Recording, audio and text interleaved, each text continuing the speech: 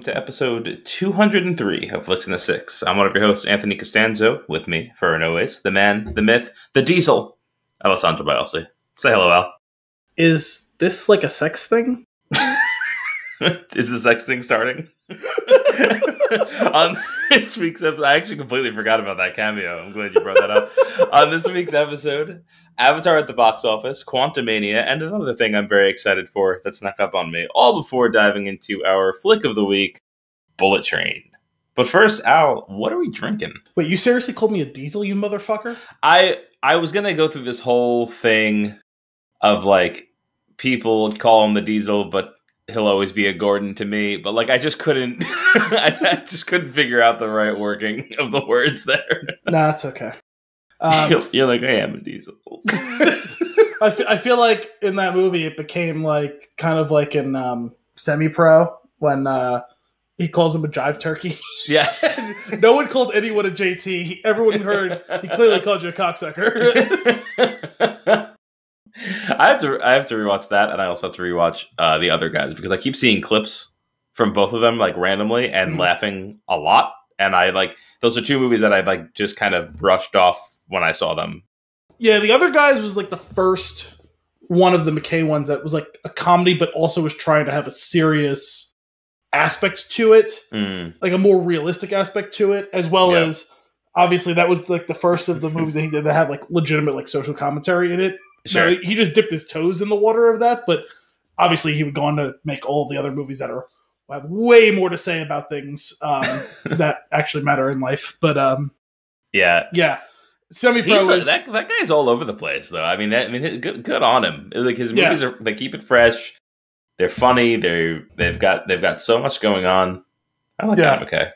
semi pro though is what like in the peak of his totally silly, ridiculous, over the top. Mm, shit that's could not be less serious. Um i saw a bit of that not too long ago. They did it on cinephobe recently. Um i very much enjoyed that episode. That was that was a, a good laugh. Uh but anyway back to the beer.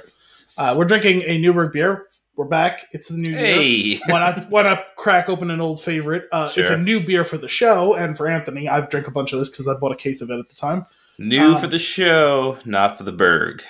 yes um so this is newburgh slancha it's a dry Irish It absolutely is not. Listen, man, good luck trying to figure out Gaelic. I can't, and I'm part Irish, so it's, um, Oh, yeah, man. it's a dry Irish stout. Um, I think last year was the first time they did it for St. Patrick's Day. So okay. So we probably should have just waited a couple months. I was thinking about that too, but considering I already failed at getting a Newburgh beer onto the show 90 seconds earlier, I said, well, Sure. why not we do this one? Mhm, Um, mhm. It's proudly brewed and canned by Newburgh Brewing Company, Newburgh, New York, USA. This beer was made here. it was made here. Um, it is 4.5% alcohol by volume. It comes in a pint, which we love. Um, it's a classic and traditional dry Irish stout. We're drinking it locally, or at least I am. Sure. Um, we oh, look at it. this! Look at this! Their logo. You steamrolled what I was going to say, so you can beat me this time. I tip my cap to you, sir. You won. You won Uh, this round. uh, I'm not even going to go through with it. Go on. um, it, we're we are not drinking it fresh, but we did store it cold, so one out of two isn't that bad. That's that's that's true. Is that that you that classic meatloaf song? Yes, right. it's two out of three, right? Um, I really only know by the dashboard light, to be perfectly honest. Wow. I would do anything for love. I know that one. Sure. There's But probably one or two other ones. Two. I think it's two out of three. I bet. Yeah, I think you're right. It's like I want you, I need you. Ain't no way I'm ever gonna love you or something like that. Jesus Christ. Really dark, depressing. He's a horn dog, that guy. Yeah.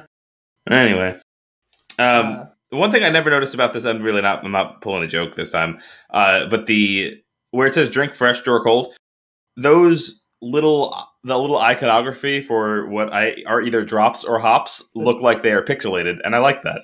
well, because they're hops. Yeah, They're it looks pixelated because it's the ridges of the cone of a hop. I know, but it, but unless you look close to see that detail, it literally looks like it's from a video game, from like an eight bit. it looks like a like Super Mario, like water is falling. I think we should develop some sort of like old school arcadey style 8-bit video game with like um, um, like a puzzly game with Mhm. you know something to do with the brewery equipment in the background and like getting the right things into the right containers um, because this already looks great It does. and i'm sure the rest of it would look fantastic as well you just gotta make all the, basically take all of the pictures that are on this can and give it like not smooth edges Well, you know, artwork done we've talked about the uh, the versions of their labels that have the Riverfront and Newburgh before. This one has it, and that doesn't even look pixelated so much as like dot matrix printer. yeah Um, which I mean, I guess is its own version of pixelated, but like that's a very specific it's classic like subsection of that. yeah Um, Would you like to sample this beer? i would but one more thing i have to check with you first Okay. uh to the right of the collage the drink local the drink Ah, fresh yes. the striped orange, dark green, light green. hmm Does one of yours have like a misprint in it, like where it's white, like a white breakthrough? Yes. So it's not a misprint. I yeah. Well, I mean, it, it was, but they probably misprinted a whole sheaf of labels. Why is it misprinted? I, I don't know. That's so weird. The other side of it's fine. You know, you notice how also like it's they didn't line it up when they glued it. like well, I'm okay sometimes there's just user error. Sometimes, well, I mean, both these errors honestly were probably uh, machine errors, but regardless. Limited release. All right, let's give this a sec. I'm, I'm gonna talk, I'm gonna, one a taste. I'm gonna write an email to Paul. I'm gonna tell him that you are dissatisfied with the entire beer experience because they didn't undo the label and redo the label for this and particular also batch. a nice postscript on that, like. How dare you not call it sour Jessica Porter? All right, cheers. Cheers. I don't know what to do with this glass and this. Can. I know I, I wasn't gonna bother, but mostly because my 16 ounce glass only seems to be holding 15.9 ounces fluid. Hmm. All right. Definitely dry. Mhm. Definitely a stout. Yep, dryrish. It's dry. It's a dryrish, dryrish stout. oh my god. Uh, this is. I mean, this is pretty good as far as stouts go. I'm not. You know what it is? I'm not like I really have to be in the mood for a dark, dark beer. I mean, th- this is Well, not. I figured we didn't make it to St. Patty's Day yet, but it's of the right time. Mhm. The No, Irish, the Irish stout though is different than just a classic regular old stout because those tend to be a little sweeter. These are super dry. Yeah, I actually think I I might prefer this though. I mean, I, I like this beer a lot. It's a very Yeah. solid beer. I'm just in general, I'm not like a huge stout person, but I think I prefer this to those sweeter flavors. If I'm gonna have one, I guess I gravitate more towards an imperial stout because I like it to have that balance of like they tend to have the vanilla y flavor with the sweetness that comes along with that, which is a very different experience in this. But Mm. also you get that alcohol burn that is not common for beer, and it's not unwelcome as a balance point to that super sweetness in that style of beer. Uh, like Yeah. the, New- the Newburgh Conspiracy is a Russian imperial stout um, that they do, and that one's really really good. Um, so explain this this portion of it to me. What what get is it? Is it malt that gets it to be this like whatever type of malt that's being used and like processed to get it this dark? Like what makes? How do you get this to happen? Oh yeah, no, it's it's the type of malt. They it's the most roasted of the malts. It's Okay. like, the darkest roast. It's similar to coffee. Like Um, Sure. Malt for beer is similar to coffee. If you roast it longer, it gets darker. Hmm. Texture wise, though, it's not like very thick or anything. No, which is also common of of of a dry Irish style stout like Guinness. Everyone's like, "Oh, it's so heavy." It's it's No. like so someone who isn't a, a stout drinker is like, "Oh, it's so heavy." It's not. It's very Yeah. robust in its flavor because it's dark. It almost can taste burnt, not in a bad way, but that's it's the same thing. Like you're literally like burning the malt. That's how it gets so dark. Um, it's chocolate malt is what they Yeah. call it.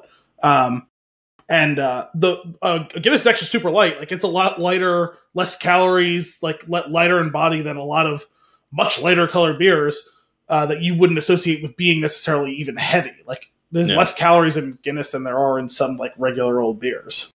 This is this is quite nice.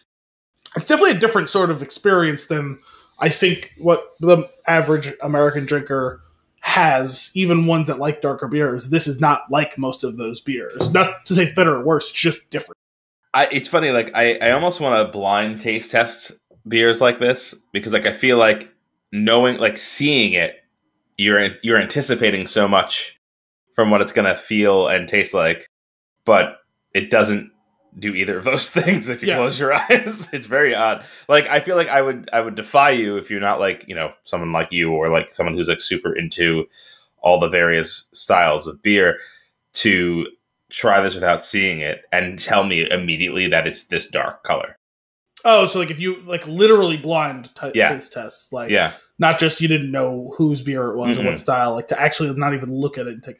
I mean, I would definitely know because it is so the malt is so dark and it's so dry. It it, it has to be chocolate malt, like it does. Yeah, I like on like if I were to smell it first, I I would get stout. But if if I were to just immediately take a sip of it, I feel like I wouldn't.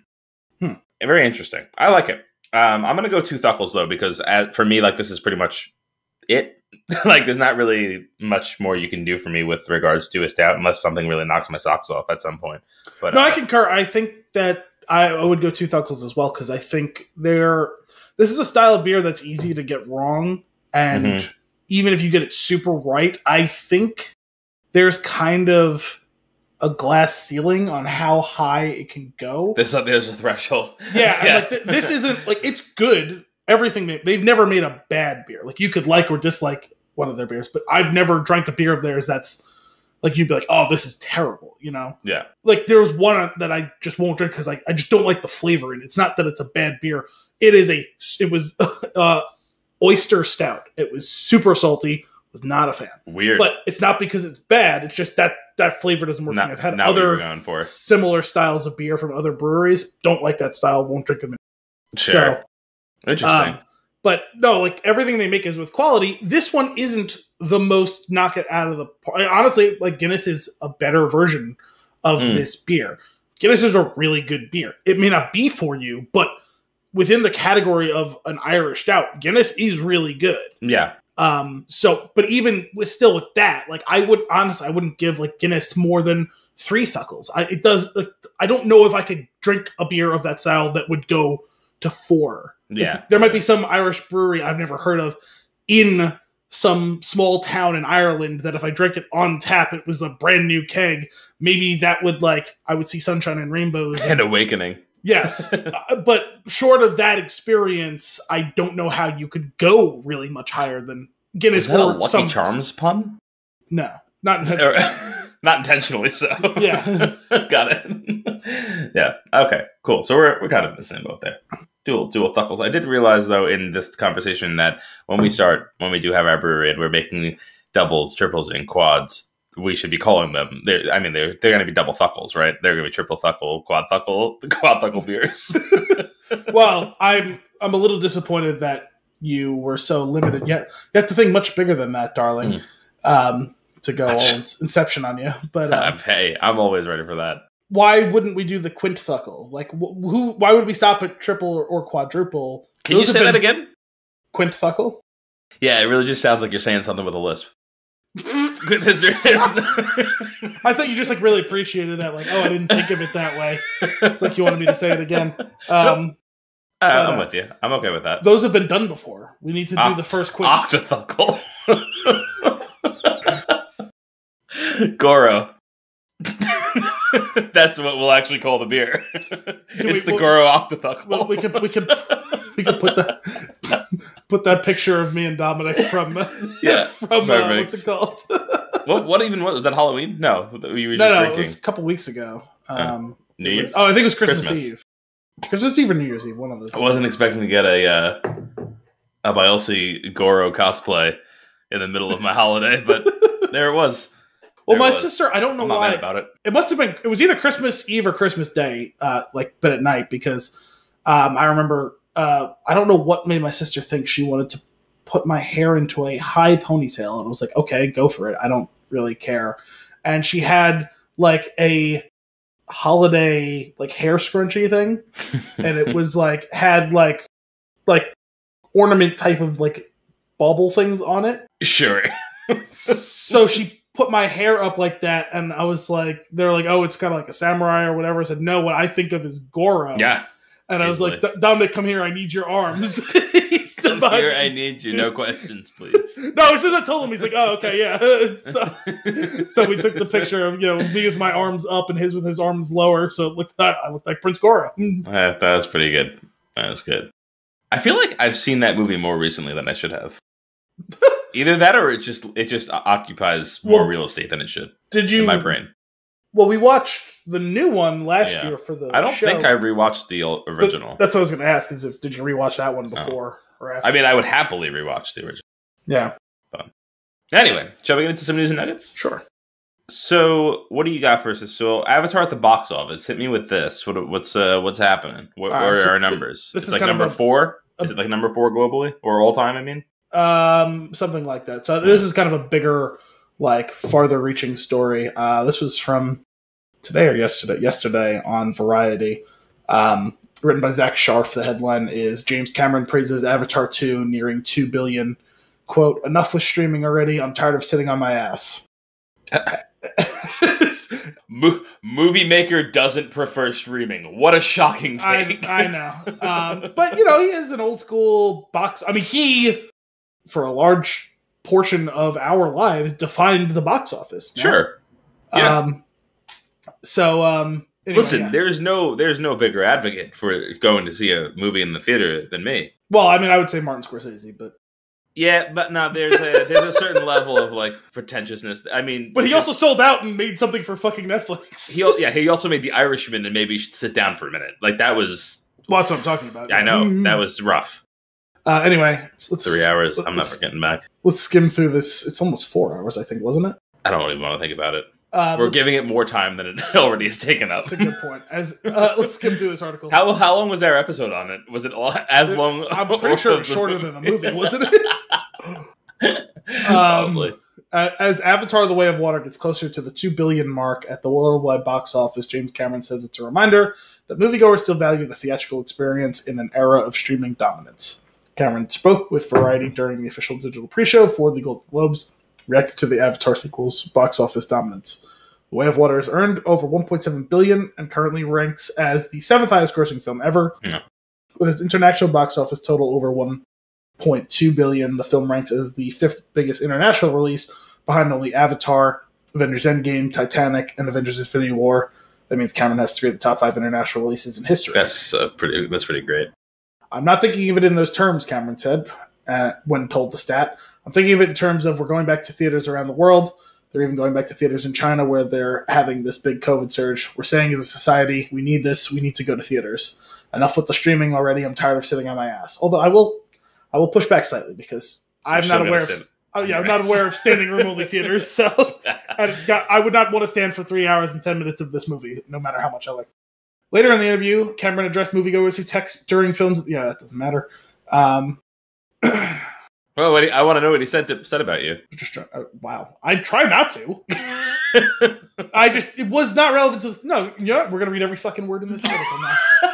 I was trying to edit for brevity, but later in the interview, Cameron addressed moviegoers who text during films at the theater. "Quote: They're missing the point." Unquote. The director said. "Quote: When we go to the movies, we make a deal with ourselves to have undivided attention for a couple of hours. It's about immersing yourself, choosing to commit to that ahead of time." Unquote. Cameron Yeah. said on last week's episode of Who's Talking with Chris Wallace that Avatar: The Way of Water will turn the profit it needs to in order to get the remainder of this franchise sequels made. Quote, it looks like with the momentum that the film has now that we'll easily pass our break even in the next few days, so it looks like I can't wiggle out of this and I'm going to have to do these other sequels, Cameron said. I know what I'm going to be doing the next six or seven years. He added, That's- that- What's up? That's pretty cool. I mean, I, I, I'm all for it. Like something like this, it doesn't. It, it's unprecedented, right? Like having a movie this big as a sequel this many years later from a movie that was the number one. Like, I mean, that's it's it's such an awesome thing to be happening. I will say, like, it does. But like I was joking before, like the whole like streaming versus movie, like all of those arguments, those conversations, they do really annoy me because I don't think that they they matter. Like ultimately, it wasn't like people went back to the movie theater to see this. It was like they were excited about it and they watched it where it was. That's what happened.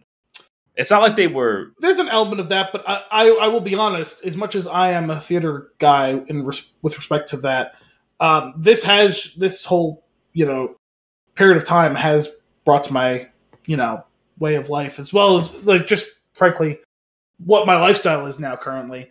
I'm not going to go to the theater for every single little thing. Like there are some movies that I'll be okay with seeing as a streaming option or Sure. waiting until it comes out.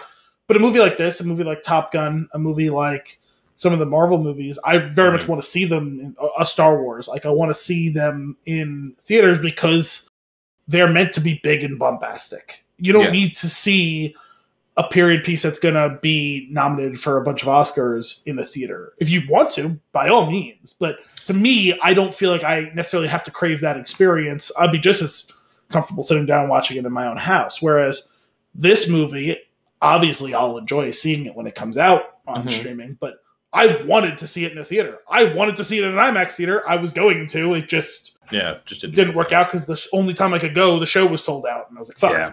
So Yeah, no, it's it's definitely it's definitely in a certain class where like that. I feel like m- more people would be like, I want to see this in theater than the usual folks. Like me personally, I I just prefer going to the movie theater because I think that I I enjoy sitting in the theater chairs. I enjoy seeing the gigantic screen. Yeah. I do. I am very much all about disconnecting from everything else for those couple of hours and not like and it. I love it. Um, that being said, I have curated a spot in my home that makes it a perfect movie watching experience with the lights off and the shades closed so that no light is really coming in the surround sound system set up the comfortable chairs the incredible screen that is better than a movie theater screen. Like there is really no question about it. An oled screen is better than like the picture's better. It's just smaller in my in my in my case.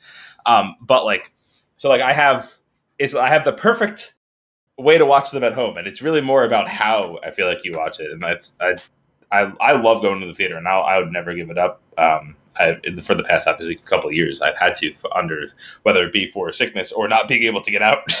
Like Multiverse of Madness is the only Marvel movie I haven't seen in theaters. Hmm.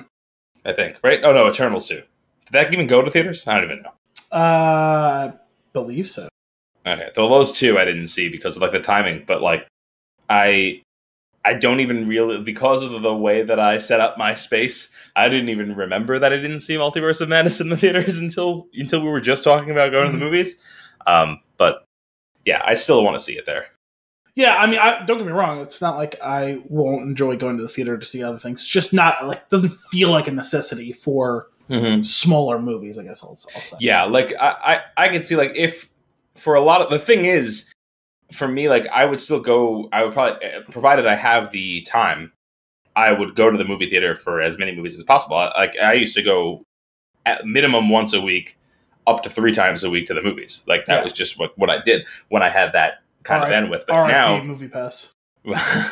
but now like i don't know it's i actually being able like when something is on streaming and in theaters like if it's a movie that i'm excited about i'll still see it in theaters but being able to not be like blocked from viewing it because i can't schedule around it is also uh, super valuable to me Yeah. Huh.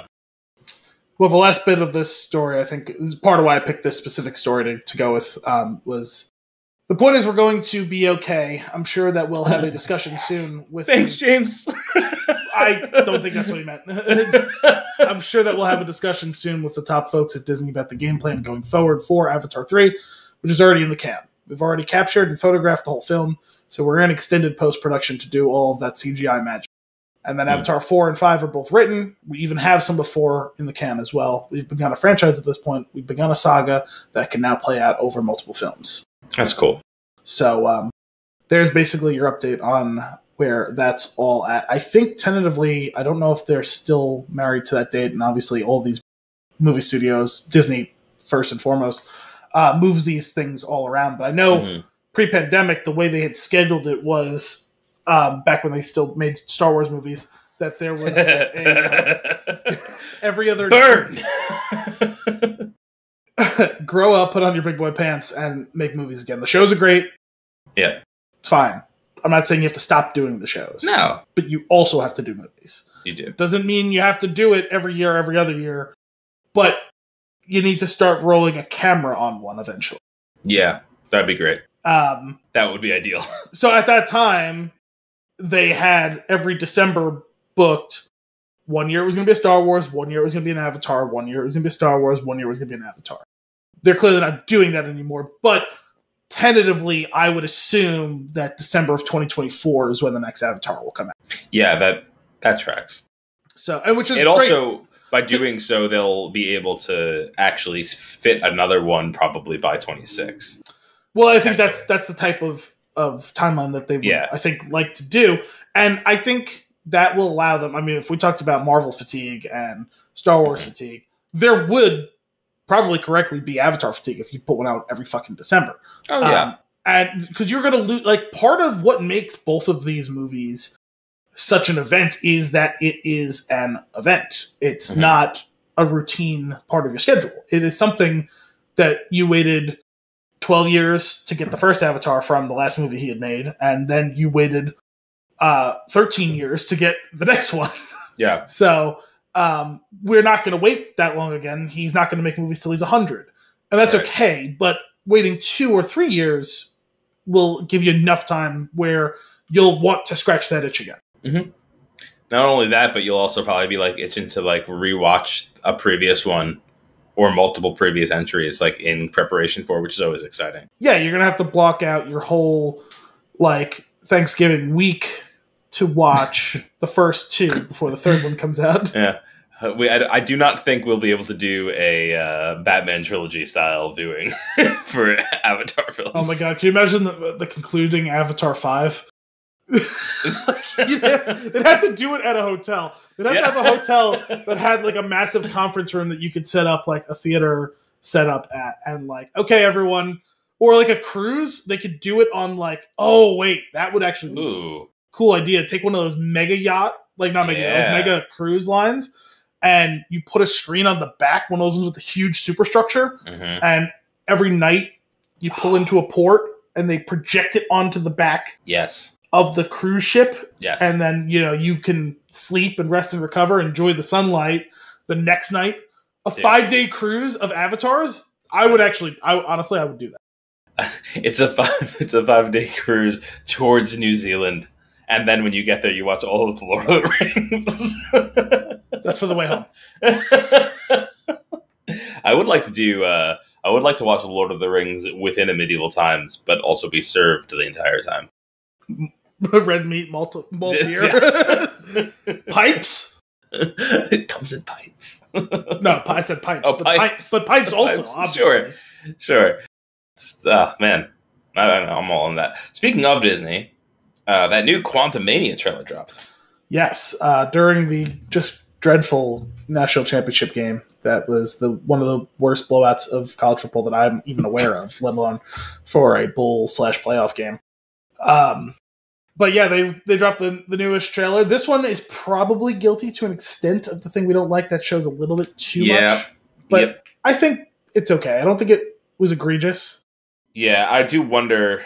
I think we um, already knew to a certain extent that's the way it was going to go anyway so Sure. It's just like there's a lot that you can. I mean, and, and they're pretty good with their trailers usually of like misdirection, but there's like some things in there where you're like, oh, I, I know where a couple. I feel like I know where a couple of these things are going out that I wish I didn't know exactly, but that's okay. I'm still excited about it. It looks great. yes Uh, it looks intense. It looks uh, Avengers level, like implications. I'm I'm ready for it. and it definitely takes the baton from I think we've all been super excited for what the first iteration of Kang was going to be in Mhm. one of the the movies. We all obviously enjoyed his introduction in Loki. mhm. Spoiler alert for that if you haven't seen that show yet. And what are you waiting for? The second season's coming out not terribly long from now. Um, that's so exciting too. I, think what- forgot that that was like I knew they were making, but I forgot that it was like coming fairly Mhm. soon. And then I saw it was like kind of like a Disney like commercial for like the things that are. It was like Avatar and Star Yeah. Wars and Marvel and all the other Willow and all the other things that they're doing. It was like, oh, that's right. Like Loki is like within the next few months. So Mhm. um, Yeah, I'm it's exciting. I'm a little surprised that Kang wasn't in any of the Phase Four films. Yeah, even in like a post-credit Thanos grabbing his gauntlet type of way. Right. Yeah, I, I, it's interesting. because this I one kicks know. off Phase Five. Oh, it does. That's right. Yeah, that's a good point. Why? Well, I guess also like uh, was the did the timeline get shifted around at all as far as what got released? Because I think Loki, stuff just got pushed back. Oh, okay. I, Like I the Eternals wondering- got pushed back, and Black Widow got pushed back, but Mhm. nothing changed as far as release order. I don't believe. Oh, okay. Yeah, interesting. But yeah, that is that is strange. But we'll see. I mean, this is obviously going to be a big deal. I, I think what's cool about it too, I'd like to really like to put it into context, is it, it's the third Ant Man movie. So it's it's also like if you just isolate this trilogy of movies, like usually you know a, a trilogy is all has its own sort of arc going on versus the giant arc that all of the the, the Marvel movies at large are doing. So like there's a lot I feel like there's a lot to probably digest here with like where Scott Lang is at and like how his character has progressed. Like this whole looking back on the time that he's lost, like that's obviously going to be a strong theme throughout the the movie, and rightfully so. Like we haven't really like it's not just the snap; it's also like the prison time. Like it's there's a lot to, Yeah. like to to to unpack for that character, and like he it's it would make sense like anybody might want the last five years back, but it would make sense that like he feels like he lost even more than that, and he would be a perfect target for wanting to unwind certain aspects of the timeline. Well, I think no, no evidence, you know, more concrete than the fact that they're now on their third actress playing his daughter. So, I don't even remember you. well, it came to the thing where I was reading a little thing about the, the trailer yesterday, and I was like, "Hang on a second, the third actress," and then I like thought for a second, I was like, "Yeah, why didn't when I saw the trailer did it not register that that's clearly not the same actress who Mhm. was playing his daughter in Endgame?" Which also raised the question, why? sure. Uh, another question: Is it intentional, and does it have something to do with timelines? this wouldn't be the first time that they've recast something like this, so I'm But- assuming that it was just If we're gonna go in though with the first the first time they did it was because like it was like three years after they made the movie and they wanted her to have aged more than that so Yeah. that's that's fair. Oh man, I'm I'm excited for that's mid February. yeah it's like i think this is it the 17th i want to say Amazing, amazing. I can I cannot wait. I'm very pumped for that. I was um after last week's episode, I was thinking back about it. Like I still, I feel like Oppenheimer slightly ekes out over this one. Like as far as like anticipation for the year, but like this one's also really close, so I'm definitely clouded by it. Yeah. like I oh it's always it's always easier to get excited for something that like you can physically see is within your reach as Yeah. something that like you know you're gonna be excited for but it's like you can't build that hype machine for like six months or whatever like yeah. especially when you have something else to distract you in the meantime hmm probably several something else's something For- else Something. spider's it's like Surgeons General. What's that It's like Surgeons General. yes well, I was, my, my example is always spider's man Spiders Man. Oh man. Well, speaking of things that uh, are on the like immediate horizon that are sneaking up on me, the uh, the Last of Us is Sunday. that's correct and I'm so excited. It looks. I watched a trailer uh, moments before we recorded that I must have missed. Mm. That pulled on a one little Easter egg from the second one, Okay. and as, as part of a musical cue that was just so wonderful. And like, Was it that- looks that song that she plays or whatever? So good, yeah. And it looks incredible. Like uh, it looks, it to me looks like they are. It's like maybe one of the first things that's really going to do justice for like transposing the game to just just the storytelling. And that's mostly because and i said i think i said it before like i feel like the director of the game is one of my favorite film directors because of how good that game is and Yeah, I mean, how incredible the story is. Directing a game is still directing right? Like, Yeah. it- It's I mean, got it's not exactly the same but there's enough overlap. It's just like in a in a world so bloated with like zombie movies or post-apocalyptic movies or like where the walking dead like just all of that stuff f- to stand out is quite the feat and like this is like the story that they have to tell is so far above and beyond any of those that I'm really excited that you're going to get to experience it soon, even because I have not given you that PS3 to play the first game on yet. That's okay. Um, Uh, I was thinking about texting you and Brian yesterday because I know you both love that game series so much. Him even more so than you, it seems, um, if that's possible. Mm. But um, the reviews, were, the embargo lifted yesterday. Um, so I'm I- I'm not wa- I'm not listening or like looking at anything, so you you can tell me because I know you won't. Yeah, well, I'm just gonna read you uh, a headline. I what I what I've seen. I haven't read anything yet. I've just seen the buzz around it. So I will read you because I tabbed the story. I'm I'm going to read it because it's a spoiler free preview. Um, Alan Sepinwall's came out yesterday from Rolling Stone. Sorry, my close personal friend Alan Sepinwall's Sure. um, came out yesterday um, on the Rolling Stone. Um, the headline is "The Last of Us: A finer version of The Walking Dead and HBO's next big." Sure. Now, I will say that he said on the front end. That's all I'm going to read. Uh, he said on the front end that he's never played the game and he Mm. adored the show. He goes, so he goes, I, he goes, I will be curious to see how people who've played feel about this. He goes, but as just as far as television goes, he goes, I can't speak to how it adapts the story, but on its own, he said it's a fantastic show. I I was listening to like a short one of those teases from like I think it was the showrunner. I don't remember who it was, director, showrunner, whatever it is. And they were like, "We are like, there's already a perfect story there. We're Mhm. not trying to like fuck with that, basically." and it was like, we we just have more time, so we're gonna fill in the gaps with more Well, we've while, talked about it while in- keeping true to it, and like that sounds amazing. to we've talked about it in the past. I forgot what it was specifically. We discussed that adaptation is its own skill, right? me. Mhm. Striking the balance between being true to what was already there while also being able to put your own touch on it in a way that doesn't corrupt that Right. or and it seems it's interesting because like from the trailer there's also like there's clips that are part of storylines in the DLC that came out for the game afterwards that were like prequel things. So Okay. like to see how they'll actually unfold that, whether it's like through flashback sequences or maybe do it in order, I'm really curious to see how it goes.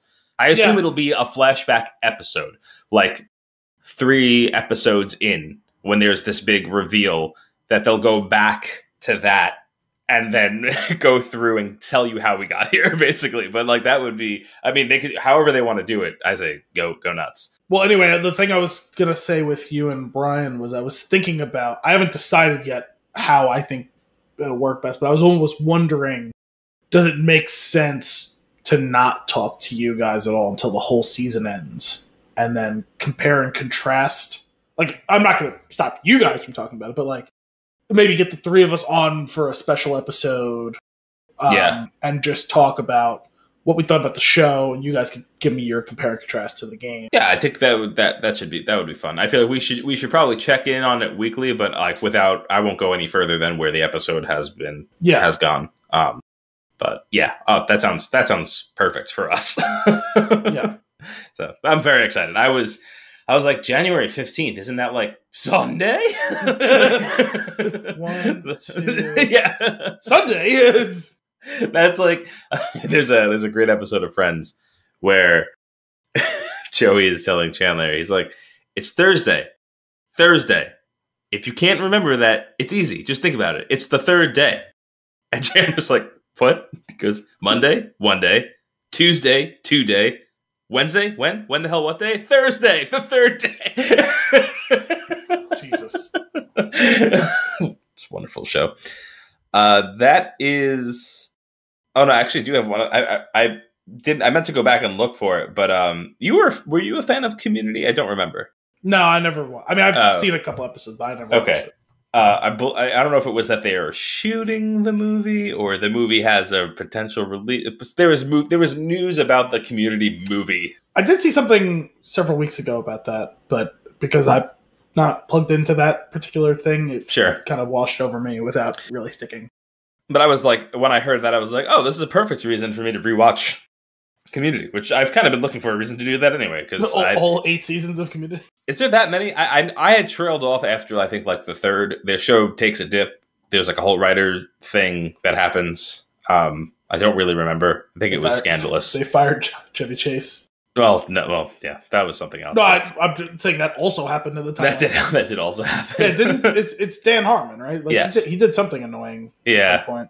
yeah, Again, I don't remember because it's not a show I watched. So it wasn't like, but I remember there being some scandal involving him. Yeah. So Well, I might get back to that because it's very silly. Uh, I think we could do some consumption. yeah, I think we can keep the news brief this week. I uh, I'm gonna kick us off here just before recording this episode. We finished the first season of Wednesday to Okay. find that they have greenlit. When's They're going to move forward with the second. when the hell what day? uh, they are going to move forward with the second season, which is cool. Really, it was it was very entertaining. Like it's it kind of had this um it's got like the it's just the right level of spookiness, like family friendly spookiness. I feel like maybe a little bit too maybe a little bit outside of the realm of family friendly, but it's it's like it's sitting in there. Uh, it's got like kind of Riverdale vibes with some of the themes and some of the characters and some of the campiness, but all in all, it's just like a fun, unique story within a universe that is semi like established, but you're focusing on one character of that universe and like diving deeper into them, which was it was cool. And, and the way that they, I feel like every, from episode to episode, I was I was invested. There was maybe like a like a half episode lull somewhere in the like two thirds of the way through that I was just like checked my phone, like not fully engaged, but like otherwise eight episodes, hour ish long each, fun characters, silly story, like predictable ish. Like not all of the pieces are predictable, but like enough of it where you like, yeah, I see that coming, or oh, that was kind of cool, or like I don't know, twenty minutes before something happens, you're like, I know where this is going, but like that's fine. I'm fine with that, and uh, I don't know why, but uh, Thing is is hilarious to me Really? just this disembodied this hand just the physics of thing is incredible because they make zero sense Well, yeah. I mean, it's a floating I love hand. that. that's that's probably my, like the fact that he can like strangle somebody is without amazing forearm muscles. with it's so good and uh, i don't know like how they make it like this charming character that you actually feel for at random times throughout the show. Like good on them. Especially considering it doesn't speak, right? no. He he signs. Oh, okay. That's what'd you say? Like American Sign language, or? Sometimes. There's some there is some spelling and then there's definitely things that he's just doing that like wednesday understands. Like point. but then like character yeah pointing characters that uh spend enough time with him that they start to understand him too which is pretty great so this is like a Stewie thing where like if you're too close to him, you don't understand him, but if you're far enough away, you do. like, that was that was the joke they did when um when Cleveland and Loretta got divorced. uh They went to talk to Brian and Stewie were trying to get them back together. I don't remember why now. Um and they're like knocked on her door and they're waiting and Stewie's like, "Hang on a second, is she or I, I think Brian said is she one of those people who's like going to be close enough to you where they don't understand you? Or far enough away where they understand you totally? Or is it going to be one of those situations where they're in the middle where they get the gist of what you're saying? Uh, self-awareness in television is funny. Yes. I like that. But uh anyway i would if you have if you're at all interested it's it's fun.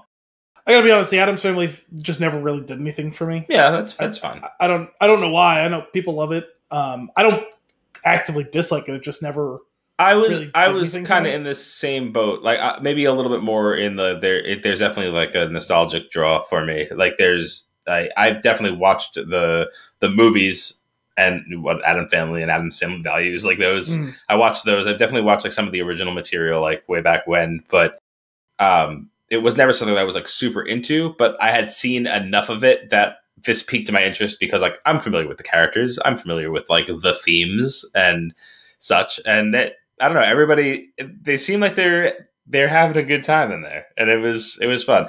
She's uh, very consistent at playing Wednesday, and I'm just like, you must have had a horrendous stiff neck at the end of filming, just by by nature of being so into this character. You know, it's funny. Um, during the whole promotional lead up to that show, like, I just didn't care. But you see her face as Wednesday all the time. Mhm. Never clicked for me that it was the girl from that Scream movie. Yeah, no, And Jenna like, something- uh, Or- Ortega, Ortega. right? Yeah, Yeah. The other day, someone like it was like, and I knew that saw the name too. Never registered, and then someone was like Jenna Ortega, who was in Scream last year. Like, oh yeah, duh, that's very obviously her. Why did that never register one percent in my? She's also like a Disney kid, right? Like a post our generation Disney kid. If you say so. Um, but uh, yeah, I, I, I did the same thing. We started. I'm like, I, I, I, I know this person. IMDb time, and like immediately I was like, oh, all right. Um, yeah, I as far I definitely saw, if not all, then most of the movie with Raul Julia Yeah. and Anjelica Huston. Um, Raul Julia cracked me up as yes, Gomez in that movie. But beyond that, I just don't. I don't know. I just never. I know a lot of people of similar-ish age to us have lifelong crushes for Christina Ricci because of her portrayal of Wednesday in that movie. Mm-hmm. Was Christopher Lloyd yes, Uncle Finster Fester. on- Yeah. Beyond those things that I just said, I I have nothing. Yeah, I think what, what's cool though about this this like pseudo revival of it is that like it's perfectly acceptable. Like you could perfect you could watch it without having any context. that's- but if you have some like, me there's like oh like th- that thing that i know about or like this thing which is fun but i bet you if you're like super into it there's probably a lot for you there as well Mhm. uh, but it was it was good the uh uh what's his name uh luis Guz- guzman guzman Oh, that's right. I forgot he's Gomez, right? plays gomez also very silly barely barely in it like the other the other core Addams family characters are barely in it Oh, but when they are in it they are like giving a hundred percent the the mother is someone famous too, right? Uh, was it Catherine Zeta Jones? oh, okay. I think I don't remember. Um, and do you know who plays Uncle Fester No, that that I have no idea. It's Fred Armisen. Oh, really? I had no idea. it's pretty good. It's pretty good. Uh, Christina Ricci is also in the show as a different character, Interesting. which is cool. Um, why is it not? Why are they not readily available to me on IMDb? I don't know. Wednesday, Wed- Wednesday. I hate that word. Morticia, actress. Yes, it is Catherine Zeta-Jones. Okay, cool. Anyway, that was Wednesday. That was Wednesday. What are you? Uh, what's the thing that you're consuming? Well, I'll also go back to something I consumed right before, and that was delicious steak tacos. Oh, nice. Um, little carne asada. I too had beef. Yes. Car- carne asada, you know, marinated and all that fun Sure. stuff. Um, little like street taco style with like the little corn um, Yeah. rounds, you know. Oh, so good. I love that. It was a very Mexican themed week. I also went to a Mexican restaurant for dinner on Saturday. And Nothing wrong with that. No, not at all. And had I believe we talked about it roughly a year ago. That that meal it was the same restaurant. Like they serve it in like the huge mortar and pestle bowl thing. Yes. Comes out piping hot. It has all the different like meats and cheese and uh, cactus um, and Yes. jalapenos and oh my god, it's so fucking good. I, I, I really, I just have to come spend the weekend with you and get Yeah, some we'll go gorgonzola to- fries one night and get some. we'll get gorgonzola. We'll eat Italian one night. We'll eat Mexican the other night. I love You'll it. gain ten pounds. It'll be delightful. Yeah, I mean, pff, it's just like every other weekend. I we uh, we have a place nearby called Mexitacos that we order from pretty much every week. It's it's fantastic, which is crazy because when they opened, it was like this is fine, and then like six months later, it's like this place is legit. Like they really came into their own. I uh, have not brought myself to try Esperitos. Is that a place or a thing? It's a place Okay. formerly in the spot where it is occupying on the street was a restaurant called Esposito's, which moved Oh. diagonally across the street, and they now Did they have do that intentionally? Yes. Oh. Considering Esperitos is not a thing, yes. It could have been a last name, like Esposito's. No, it's not. it's the same people. Oh, But uh, oh, maybe I'll try one. It seems more. It seems more like fast foody style, like a like a Chipotle or like Qdoba style. Like go up, order your your business, tell them what you want in the bowl. I'm more about the Mexican restaurant. I'm not about the yeah. Or. I'm don't get me or- wrong. Like I've enjoyed Chipotle in the past, but like it's the thing. I it's the problem I have with like people who like crave like Taco Bell. I know you like Taco Bell. I, Oh yeah, it's just like to me, especially like where we live. Like there's always a Mexican restaurant within five minutes of wherever you are. no Taco Taco Bell is is perfectly acceptable if you're on a road trip or it's after midnight. Sure, but if you're having it outside of those bounds, and even still, like I'd rather have other fast foods than that. Um, Mhm. But to me, I'm like, why would you go to Taco Bell when there are so many good Mexican restaurants? Sure. Like same thing with like like why would you ever eat Domino's in New York unless it's 3 a.m. and you're No, blasted? no unless I, I challenge that. No unless. Why would you ever Well, sure, but my point is, make I your don't- own pizza? Worst there's- case scenario, make your own. there's also like a Papa John's and Pizza Hut like not far from like where I live, and it's like there are 400 pizzerias yeah. that are real pizza. And like those other places aren't open till fucking three in the morning, like Domino's is. So like you don't even have that excuse. Yeah. Like If why it- would you ever like if you live in I don't know, Arkansas and there's no actual pizzerias, like go to town. If that's what makes you happy, I'm not not even the slightest bit of judgment. Like honestly, if that's Mm. what makes you happy, go for it. But if you have real pizza, why would you ever eat the other stuff? Yeah. There is no excuse at that. I, I don't know. Like I, maybe I because I can't. I've had them and they make me want to vomit. Like the it's really it is absolutely disgusting. Like it's absolutely it's the most gross thing you can get. But if you for whatever reason you like that, I'm assuming you have you have to agree with me that you're not getting that when you're craving pizza. You're getting that when you're craving that. Similar to Taco Bell. You don't get Taco Bell when you're craving Mexican food. You go Sure, to Taco Bell why, when like- you're craving Taco Bell. no, I, I don't like if I, I would never. Honestly, I haven't. I, I've gotten Taco Bell once in the past like decade, and it was because Wendy's had closed, Sure. and it was two in the morning. like that was the only reason I got it, Okay.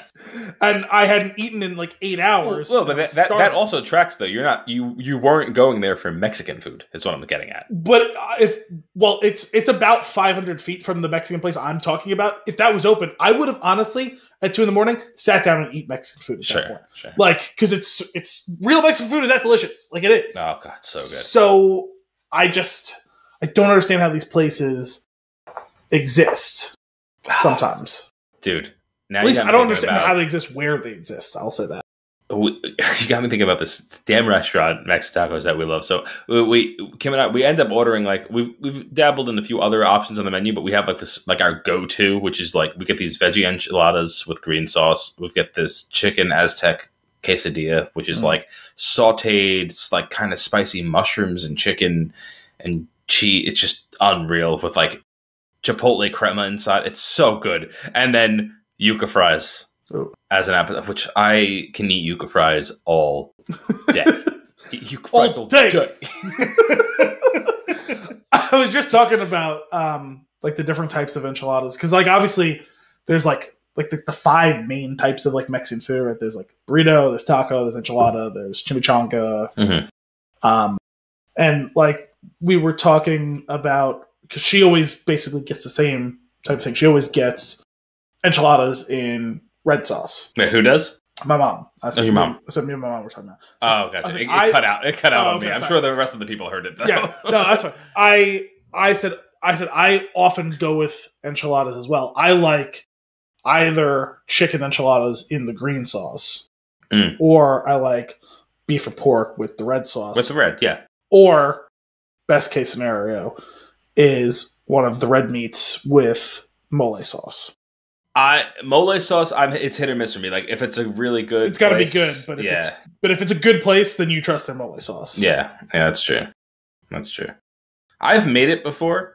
I've never it's tried. Come out good, but I I prefer some of the other sauces. Well, that was how that conversation ended. Was we should try making mole sauce? So. Ah, no, oh, it's a good time. To be continued. Let me know how that works out. Yeah, I I, I do love the smothered nature of the enchilada. Yes. Uh, that being said, there's uh, the occasional restaurant that really goes all out. We'll do a smothered burrito, Mm. and uh, especially there's this one place. This is Wahoo, Wahoo's something or other. Wahoo's. it's a giant fish on their on their sign, but they are like they're. It's like a surf taco shop, but they they have a smothered burrito that is sick. I had Mr. we- Lee's screaming chicken burrito, smothered, smothered in red sauce. Christ.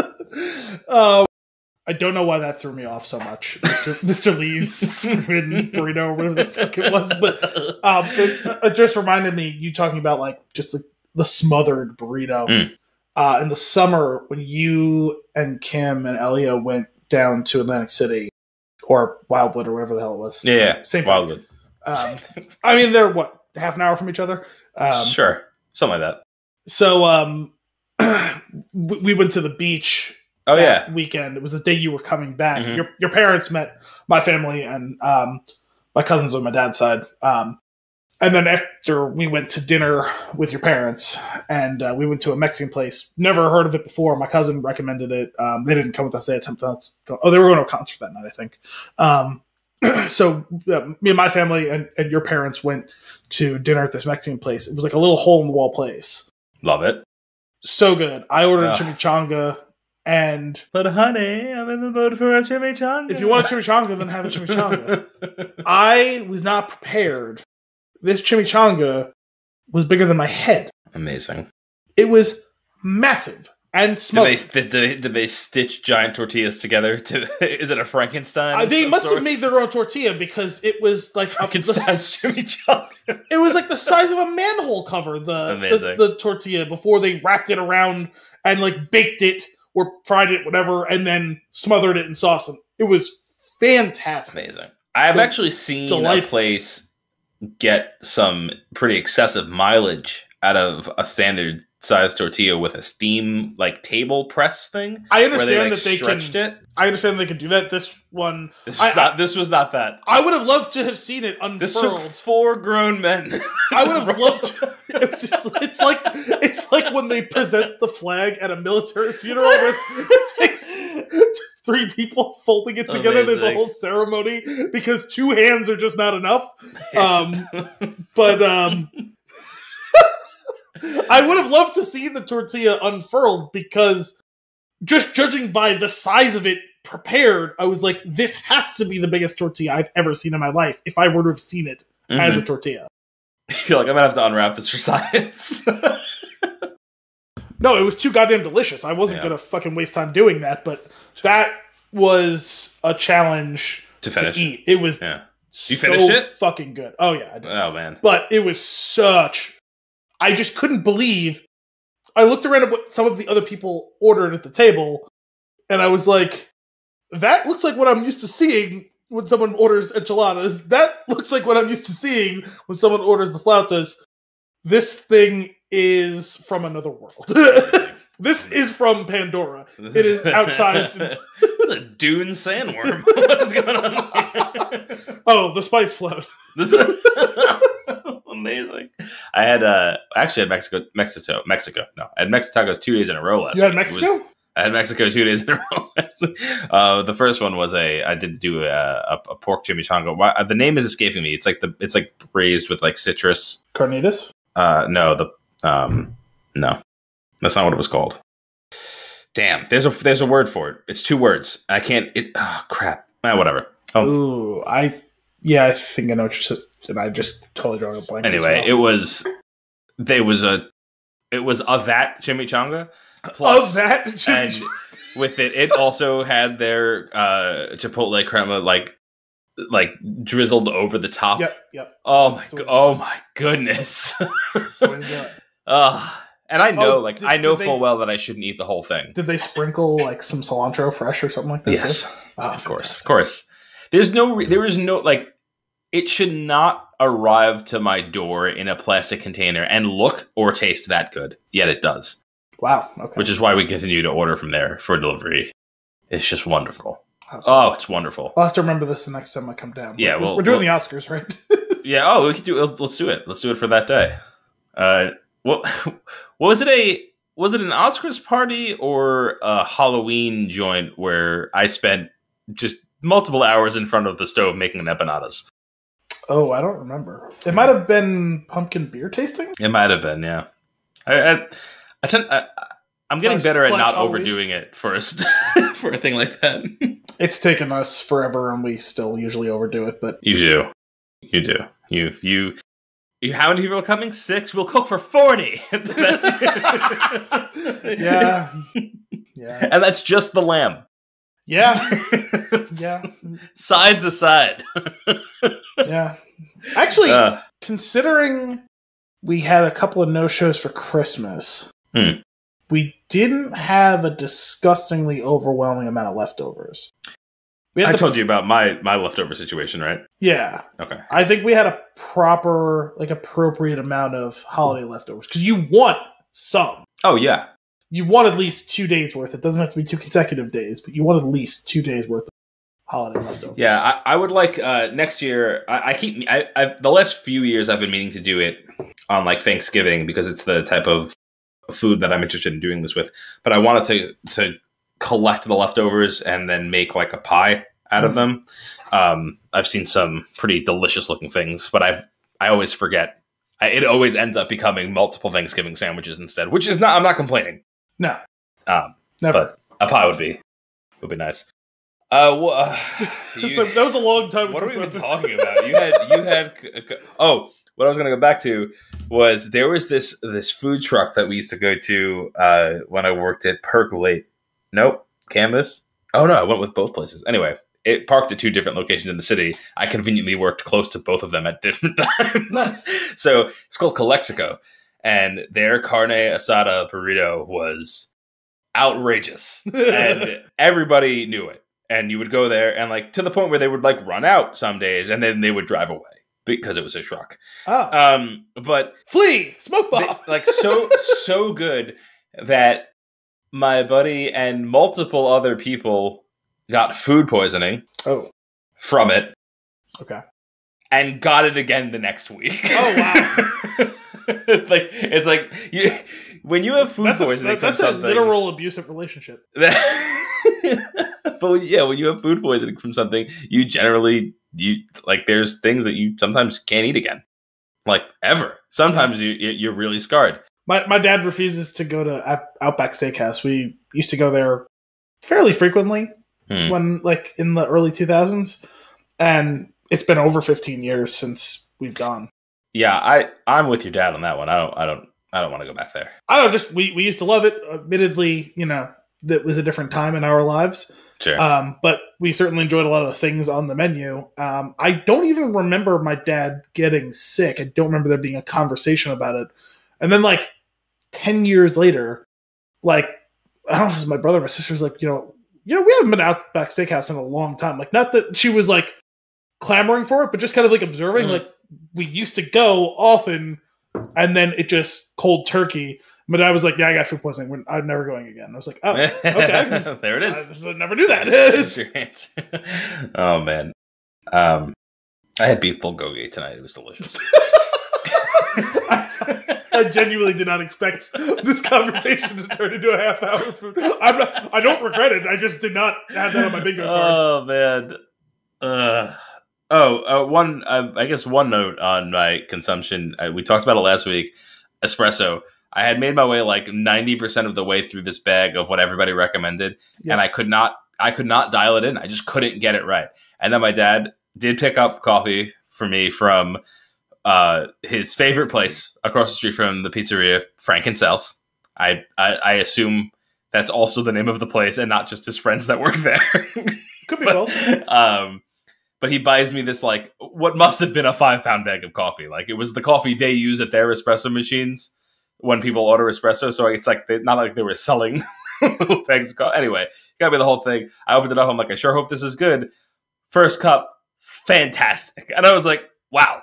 Like I like all I figured like all of this heartache that I was going through trying to make and it was it's really good.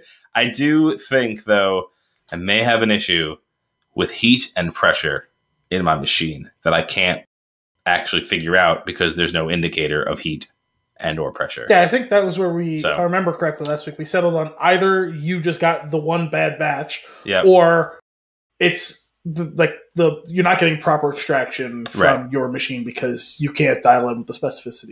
Yeah, and but I have had so I did try another bag of coffee, and it also came out pretty good. Both of them were not hot enough, and Hmm. that it that in itself is a problem. There- it- Yeah. it- so I may have to if I if I continue down this road, I will be upgrading my espresso machine. Yeah, it happens. but it's uh, I'm enjoying it. So now now my day is pour over in the morning at about two thirty three o'clock, a nice pull of espresso. Nice. It's it's great. I It's a great way to be. I do a pour over every morning, and I do French press on them. Okay. Okay. I'm not, I've never, I have not had much success with the French press. What do you mean? I just don't like the way the coffee comes out. Really? Yeah. Is it because you don't have the actual filter? I don't know what you mean. French press comes out um, more oily because there's no paper filter. The paper Uh-huh. filter extracts some of the natural oils in coffee. French press without the Has paper that filter like screen. that doesn't extract the No. oil. So Yeah. yeah, that's the primary difference. Uh, I don't know. I just never liked it. Hmm. Um, I have, I could try it again. I've, and you know that I've experimented quite a bit. Yeah, I'm just I'm coffees. genuinely surprised. I So you make it for me. When I come over for Italian and Mexican food that gonna- morning we're in gonna- between. we're gonna have- bread in the oven with French press coffee okay. for breakfast. All right. and then we're gonna have Mexican food, and then we're gonna have bread in the oven with French press coffee, and then we're gonna have gorgonzola fries. Or we can stop there for lunch. That would be too much. We, we can't ah, No, too much. We. It's gonna spread it out. Two days, It's bread in the oven and one of those meals, and that's pretty much all we should eat that day. And then- probably. well, because usually, I mean, usually bread in the oven goes with like some eggs and ham or something. sure, like that. Like, that seems reasonable and also responsible. Yeah. Um, I'm not telling you that I've never had a meal that was only bread in the oven, but typically it goes alongside Sure. All right. a protein. Cool. Speaking of the bad batch, it's been going. It's Well, I said earlier, you know, you know, the Uh, machine doesn't work or you have a bad yeah. batch. Yep. It's like, okay, that's going to be our gotcha. transition. um, it started last Friday. They Okay. dropped two episodes. all right. And then What is this? A second? this is the second season. Um, and then they dropped the third episode today. So I watched the first two episodes this weekend and then half ish of the third episode earlier this evening. I ran out of time before we get jumped on the recording. But uh, yeah, that's back up and running right now. That is the current Star Nice. War that is being engaged. It's ten dollars. Go see a Star War. Oh, I want you to know that occasionally you can get Elio to just repeat something. Um, Mhm. my sister said Anyang, and he immediately said Anyang back, and I was like, "This is my son." so he so he's in the he's in the parrot face. yeah, it's pretty great. It's almost what you say. Almost. It's it's not quite all the syllables, Ah, but but uh, yeah, anyway. Bad Batch, interesting, solid. The return. Cool. Um, I don't think it says too much of a spoiler, but um, especially because I don't know where the story is going to go yet. But um, the long-awaited return of Commander Cody. So we'll finally see whatever happened to him. Oh, cool. Yeah. Cool. Sweet. I have you heard of High on Life? Sounds familiar. Video game. I think it's uh maybe maybe Rick and Morty creators. Don't don't get mad at me if I'm Oh, wrong. okay. Anyway, uh, I've heard nothing but good things about it. I fired it up last night. I played it for like 30 minutes. It's like the shtick wore off on me in about 10 minutes. And then I was like, and the gameplay isn't fun enough to me to keep me going. It's like a shooter, but it's too floaty. And I don't really Yeah. like that. And I just, so I'm just bailing on it. I was excited to just pop it on because it was on Game Pass and it was new and it was getting a lot of uh, traction. And then I was disappointed. So I, I, I should have spent that time playing 30 minutes of Guardians of the Galaxy and getting back into that, but I didn't. And Yeah. that's on me. That's on It's me. all right. You learned your lesson. You'll be better next time. I did. I don't remember if we, when we recorded last week, if I had finished Jedi Fallen Order at that point. But Um, I don't remember if we had finished and we mentioned on the show, or if you texted me about it. But I, I was aware that you Yeah. finished. I did finish that. That was excellent as usual. And now I can free up 80 gigs because I could just make room for the next thing. Get make, make room for Jedi Survivor when it comes. Mhm. Amazing. Anything else for consumption? Yeah, um, we'll keep it on the uh, Star Wars track. I don't think I mentioned it last week, so if I do, stop me. But um, did I tell you I watched uh, Tales of the Jedi a few weeks ago? No, I don't think, I think you I did. forgot to add that to my rundown last week. But um, yeah, that was interesting. I definitely liked aspects of it. I liked some of the individual stories they told. I, I wish they'd give me a little bit more. It kind of felt a little oddly disjointed, and it's meant to because it's meant to be kind of. It's literally just like accounting. It's like we're gonna fill in some gaps along the way. So basically, the way like the first episode was honestly kind of pointless. Not that it was a bad episode, but I just thought it was an interesting choice. Uh, I know they wanted to deepen the backstory on Ahsoka, so like the 1st Mhm. episode was like her birth and the death of her parent or parents, I forget, before she gets handed off to the Jedi, and it's like it's not even about Ahsoka, so it was an odd choice to me. Sure. Really, like it's more really about her parents. Um, there was an episode with a young Qui Gon being trained by a young Count Dooku. Hmm. Um, they're well younger Count Dooku than what we saw, obviously, but um, you know, it's a Padawan Qui Gon. Um, Yeah. With, uh, I guess he wasn't a master; he was just a Jedi Knight, Count Dooku. That's cool. Um, just seeing the comparing and contrasting of their styles, especially when you consider the context of the conversation between Dooku and Obi Wan in Attack of the Clones, it was interesting to see. There was a couple episodes because another one featured Qui Gon. It must have been kind of. It was basically like in the in some of the in between scenes of the Phantom Menace because Hmm. it's after Qui Gon and Obi Wan return from Tatooine, but before they go to Naboo and he ultimately dies. okay. It's right after he gives his briefing on um, running into Darth Maul, That's cool. and it's you get a couple of big conversations out of that is between Dooku and Yoda and or no, sorry, maybe it was Mace Windu. I forget. Uh, I forget which one. It was one or both of them, and Qui Gon and Master Yaddle, Hmm. which is the other Yoda type of master that we saw but didn't hear. That that that quick aside in Jedi Fallen Order is fantastic. Oh yeah, And right, Greece. Greece loves Yaddle. Yeah. Um, there was an episode where Dooku and Mace Windu go on mission together prior to Mace being on the council. No, interesting. Um, and to see a little bit of that was interesting. Um, we get an, I don't remember if it was the same episode or a separate episode as the one I just mentioned, but we see what the ultimate fate of Master Yaddle was. I won't spoil that for anyone who wants to Oh, watch. cool. Right. Um, we get to see uh, tr- some of Ahsoka's training. Uh, it was like before she, I guess it must be before she really goes out on missions with Hmm. um, Anakin and Obi Wan, because it's her doing like with like different um, like the the little droid things that Luke learns Mhm. the little blaster floating droids, but like more than one at a time. And then it was a training session that Anakin puts her through with Rex and the clones to get her prepared for actual. Basically, Anakin's like, the best I can give you is I can make sure that you're not going to die on the battlefield. I'm taking you into war. You know, Right.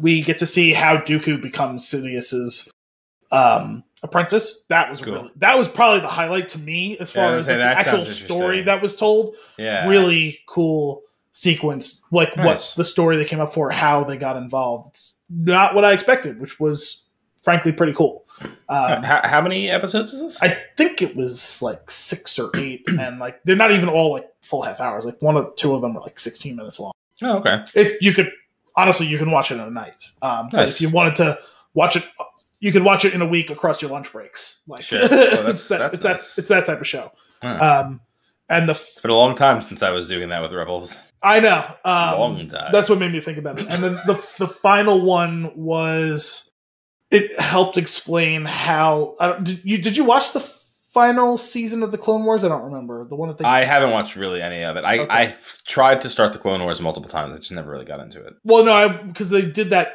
one was it last year or the year before when like they brought it back for the Yeah. final final season. Yeah, I didn't. I didn't watch that. I felt Okay. like I couldn't watch that if I didn't watch something else.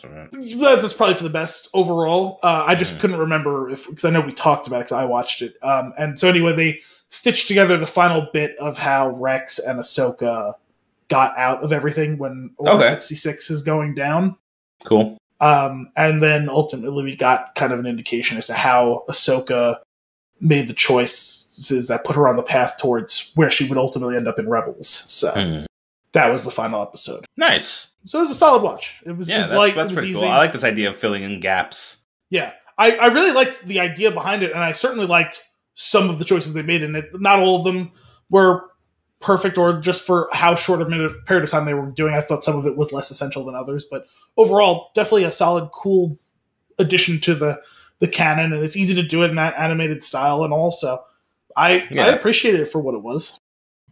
I, I it kind of it's like vaguely remi- reminiscent to me of um these. I used to read these like I think what, what called Jedi Apprentice, or maybe they were even called Padawan. I don't remember. There was like this this young like this kid series of books that were Obi Wan and Qui Gon. I'm sure they're not like canon anymore, but they were like you know like a not too thick, like pretty big text like stories and it was like a, a mission that they would go on and it was like you know it, it was there was you know a decent amount in each one of them but there were so many of them and I, I used to get them from troll did you have troll in school it was like a, I don't remember. a magazine thing that you could like order books Oh, from I don't know if we had that exact one. But we had similar things. Yeah. I, I don't remember if it was that brand or something else, but yeah. I, uh, I had a, I, went through a stack of those and I, I, I enjoyed them. Like that was fun to me. It was almost because it's like it's borderline fan fiction. Like it's like just Mm-hmm. these little stories of like these characters going on adventures, which is kind of fun. But like that, that this feels like that, but also it basically has is. impact. It, bas- it basically is that canon, yeah. Yeah, that's cool. Nice, nice. Any other consumption? I, I, that's pretty much all I've consumed. I mean, I'm still watching The Flash. I'm catching up there, but My my last one was again. I don't remember if I mentioned this last week or not. Uh, maybe I hadn't because I don't think I had really fully delved into it yet. But um, I started The Witcher Two video game.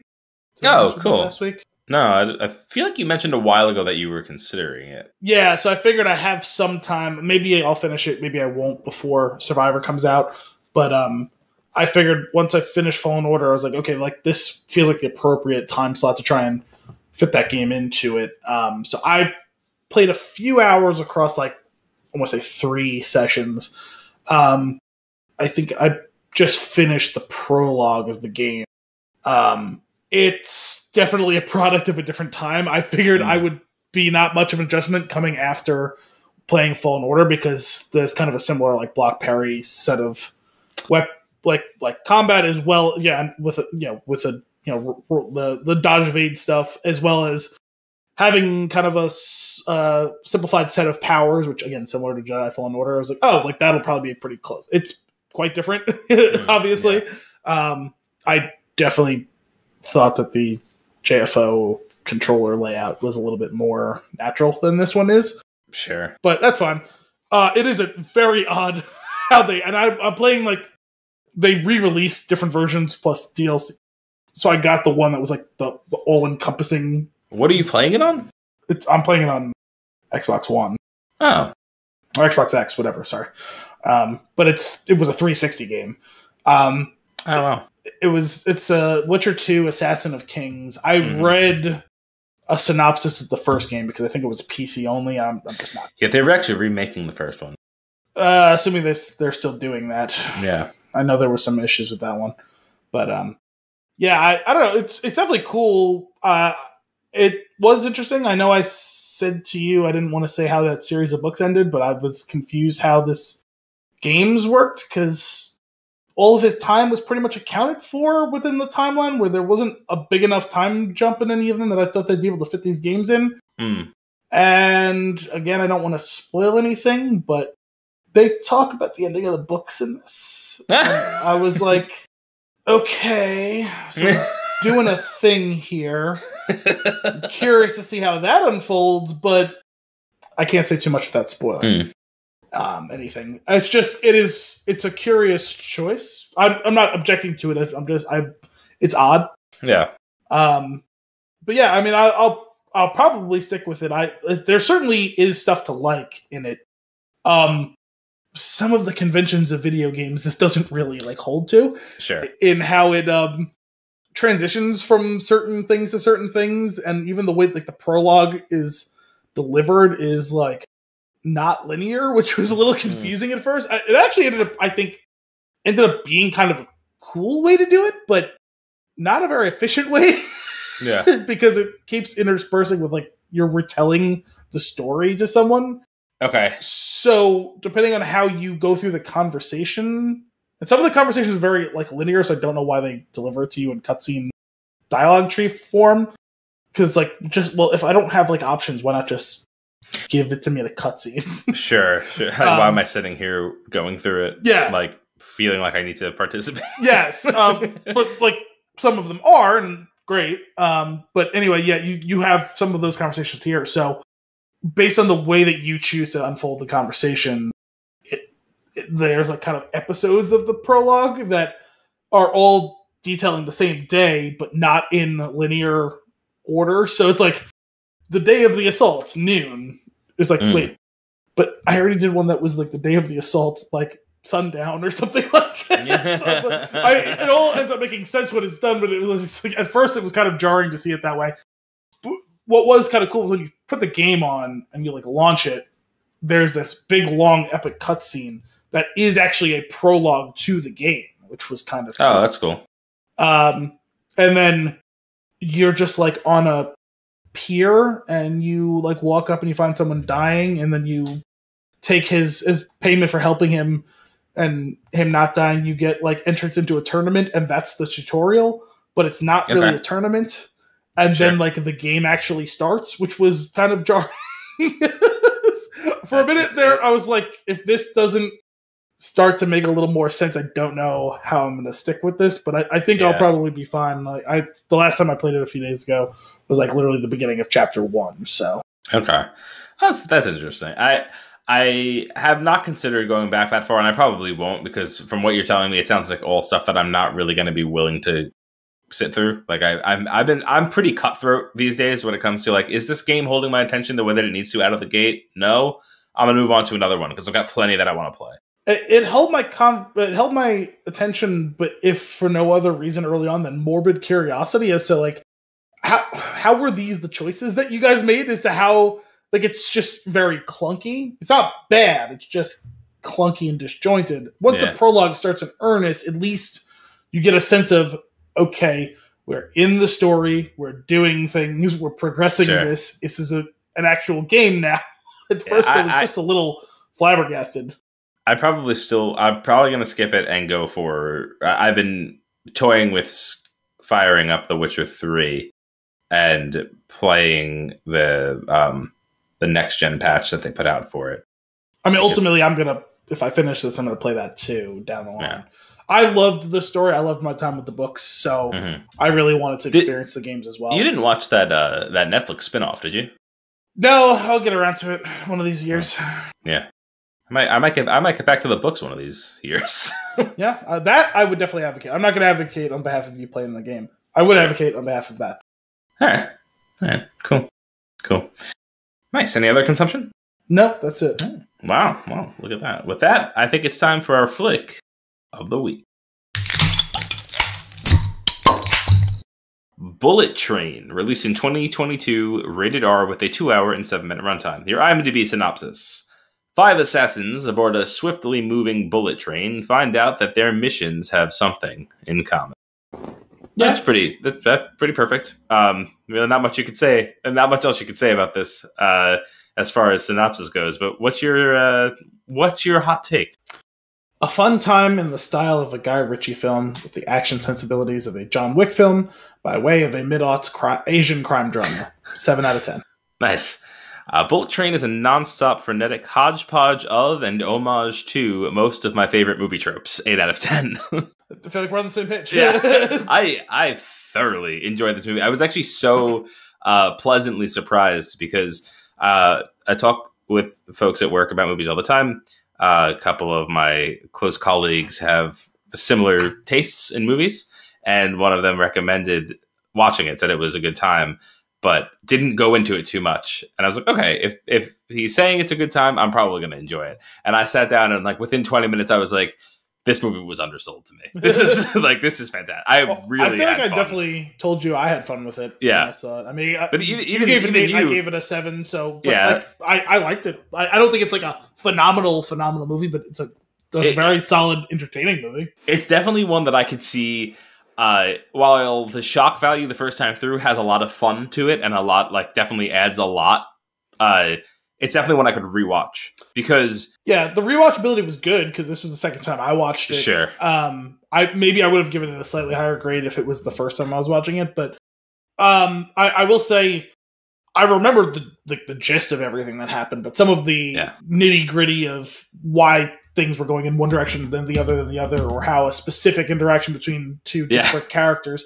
I forgot some of those details, but like Mm, whatever. Like I remembered the broad strokes of it, and I I genuinely enjoyed it and was you know pulled along by the idea of it in the first time, and it was not offensive to rewatch. So yeah. Uh, it's I obviously I'm a huge fan of Kevin Smith and I love I just love silly banter. So Lemon and Tangerine are just two absolutely wonderful characters.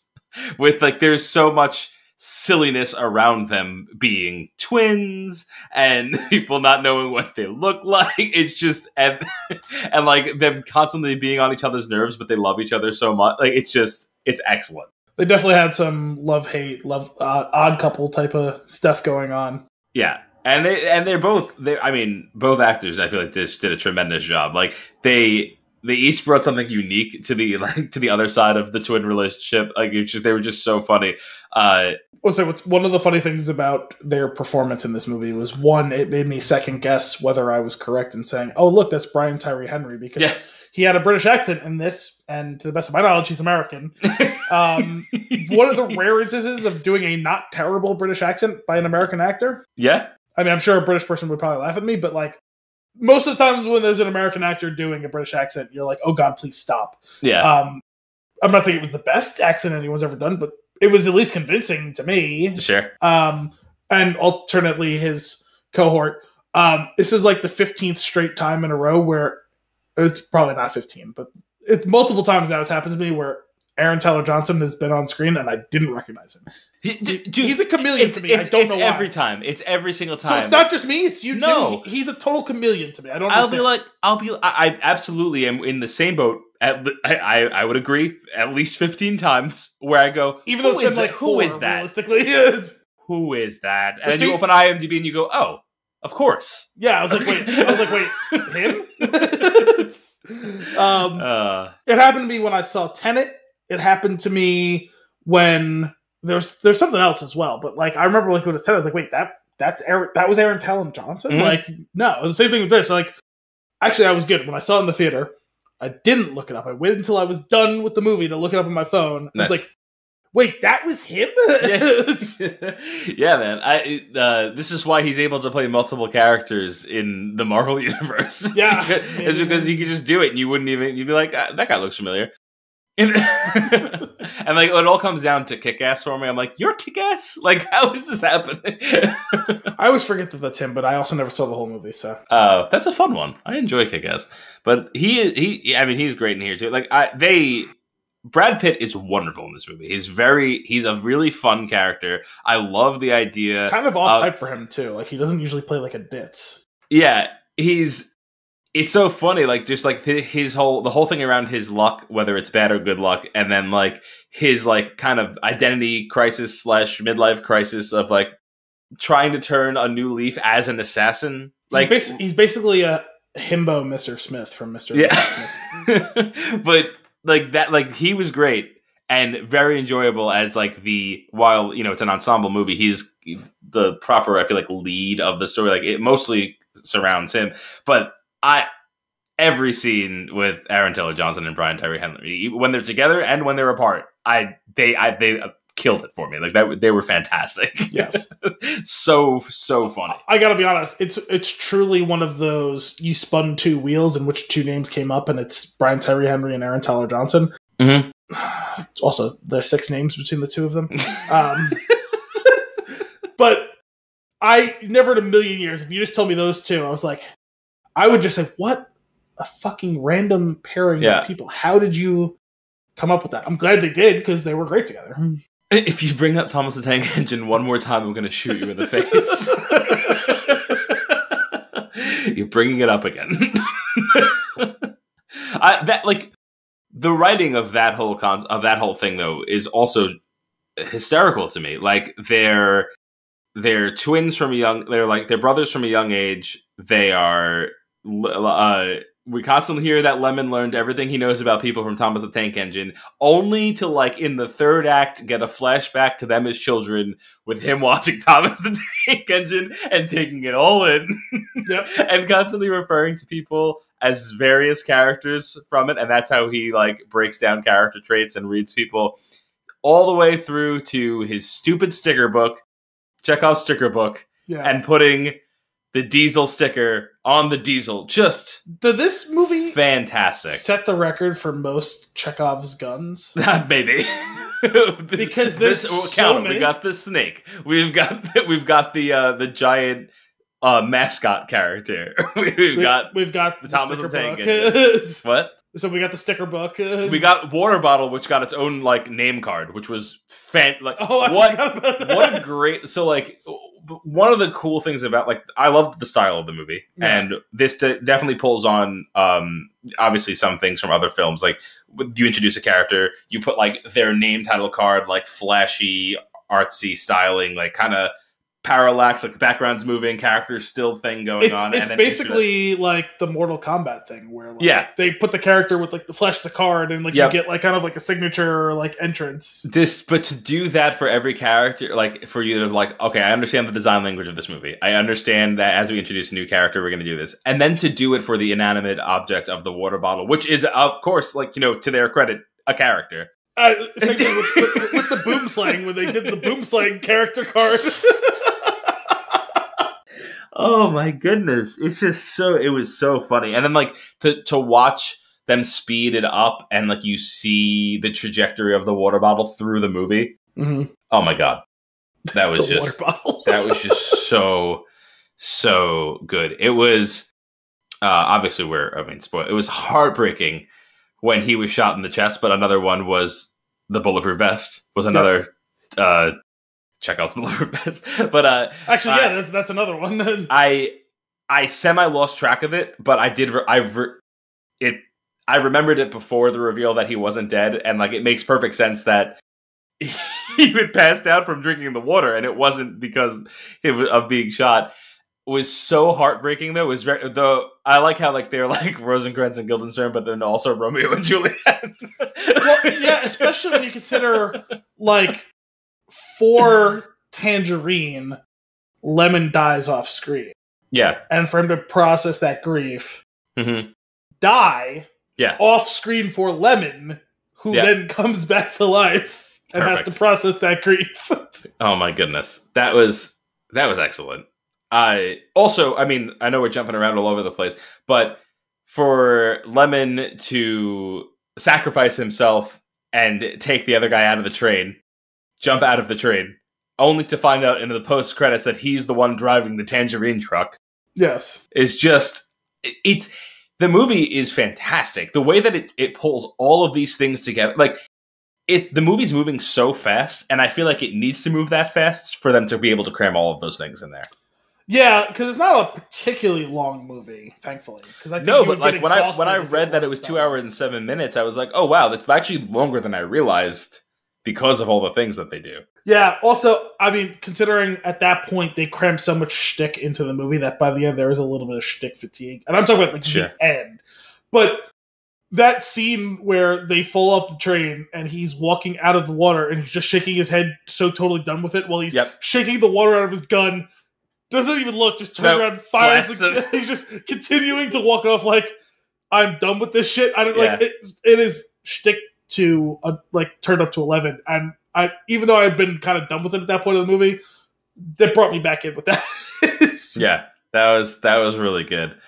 I uh I did speaking of the end of the movie, the the telephone pole falling on Sandra Bullock's car also very very silly to me. Oh yeah. just like all the the whole ladybug thing is just fantastic. Uh, I another piece of it that I like is the introduction of a character, title card and all, right? Like this, the wolf, for example. This supposedly like this like crazy, dark, badass, like assassin esque or like well criminal character in this case, but uh to just like okay, we're gonna introduce like quick backstory, like really rapidly through vignettes backstory. There's a ten minute train. tangent that has nothing to do with the movie because And- it's backstory and- to a killer that died. Yeah. It's a character that they introduce in a shocking way. They go away from it entirely, yep. come back to get a flashback Yep. of someone who died 90 seconds earlier. Yes. Amazing. The the knife bouncing off of the suitcase and stabbing him in the chest. I was like, that could not have this was So perfect. W- So dumb. when they wrote this and somebody read that, they went, "Yes, there, no changes. I have no notes." this is this is this is what um what's it called? Um the Kate Hudson character from Glass Onion wanted. yeah, It's so dumb that it's actually brilliant. Is it yeah. this was that. This was not just Mhm. dumb. The, the just because especially so it's so it's so jarring how it happens. The whole fight's going on. It's this frenetic fight. There's clever stuff by both guys. Like Brad Pitt, even though he's kind of a sad sack, he's clearly a good hitman. And even though he is in a place where he's like trying to have a diplomatic solution, he chooses not to bring the gun on the train because he's in kind of crisis. He's going to therapy. He's trying to be better. This is his first step towards trying to get back his life while also trying to live this new path. He chooses not to bring the gun on, is forced into a situation to defend his own life, comes up with all these clever ways to get through the whole fight, and then for it to be something as stupid as he just picks the case up and the knife ricochets. And, Yep. Which also, I don't think a knife can retain the amount of kinetic uh, um, energy that was required to do that, but I'm okay with it. It's perfectly fine, perfectly acceptable in the guise of this movie. it was so sudden after how slick the choreography was of that whole Yeah. fight for that something that like course to be the way that that fight ends. hmm Well, you know, it's, it's funny. Like, and they, they did something like almost identical with the uh, the Hornets character of the introduction and death, but like also clearly he was trying to grab her arm so that she didn't give herself the vaccine or the antidote, but uh, not not so much in trying to get it in himself that quickly. I feel like that was the accident part of it. Speaking he was just trying to stop her arm. Speak of speaking of some more Chekhovs, it's the fact that this specific type of poison has been following him around and he doesn't seem to have processed that. For it then to be the killer that he didn't even know existed yep. is on the train also killing people in this. For her then to then stab him with the antivenom Yep. to then become its baton pass of another Chekhov's Yeah. antivenom when he gets bit So- 15 minutes later. Would you believe that I already have a dose of the antivenom in my system today? Which, uh, and uh, again, another another Chekhov's gun.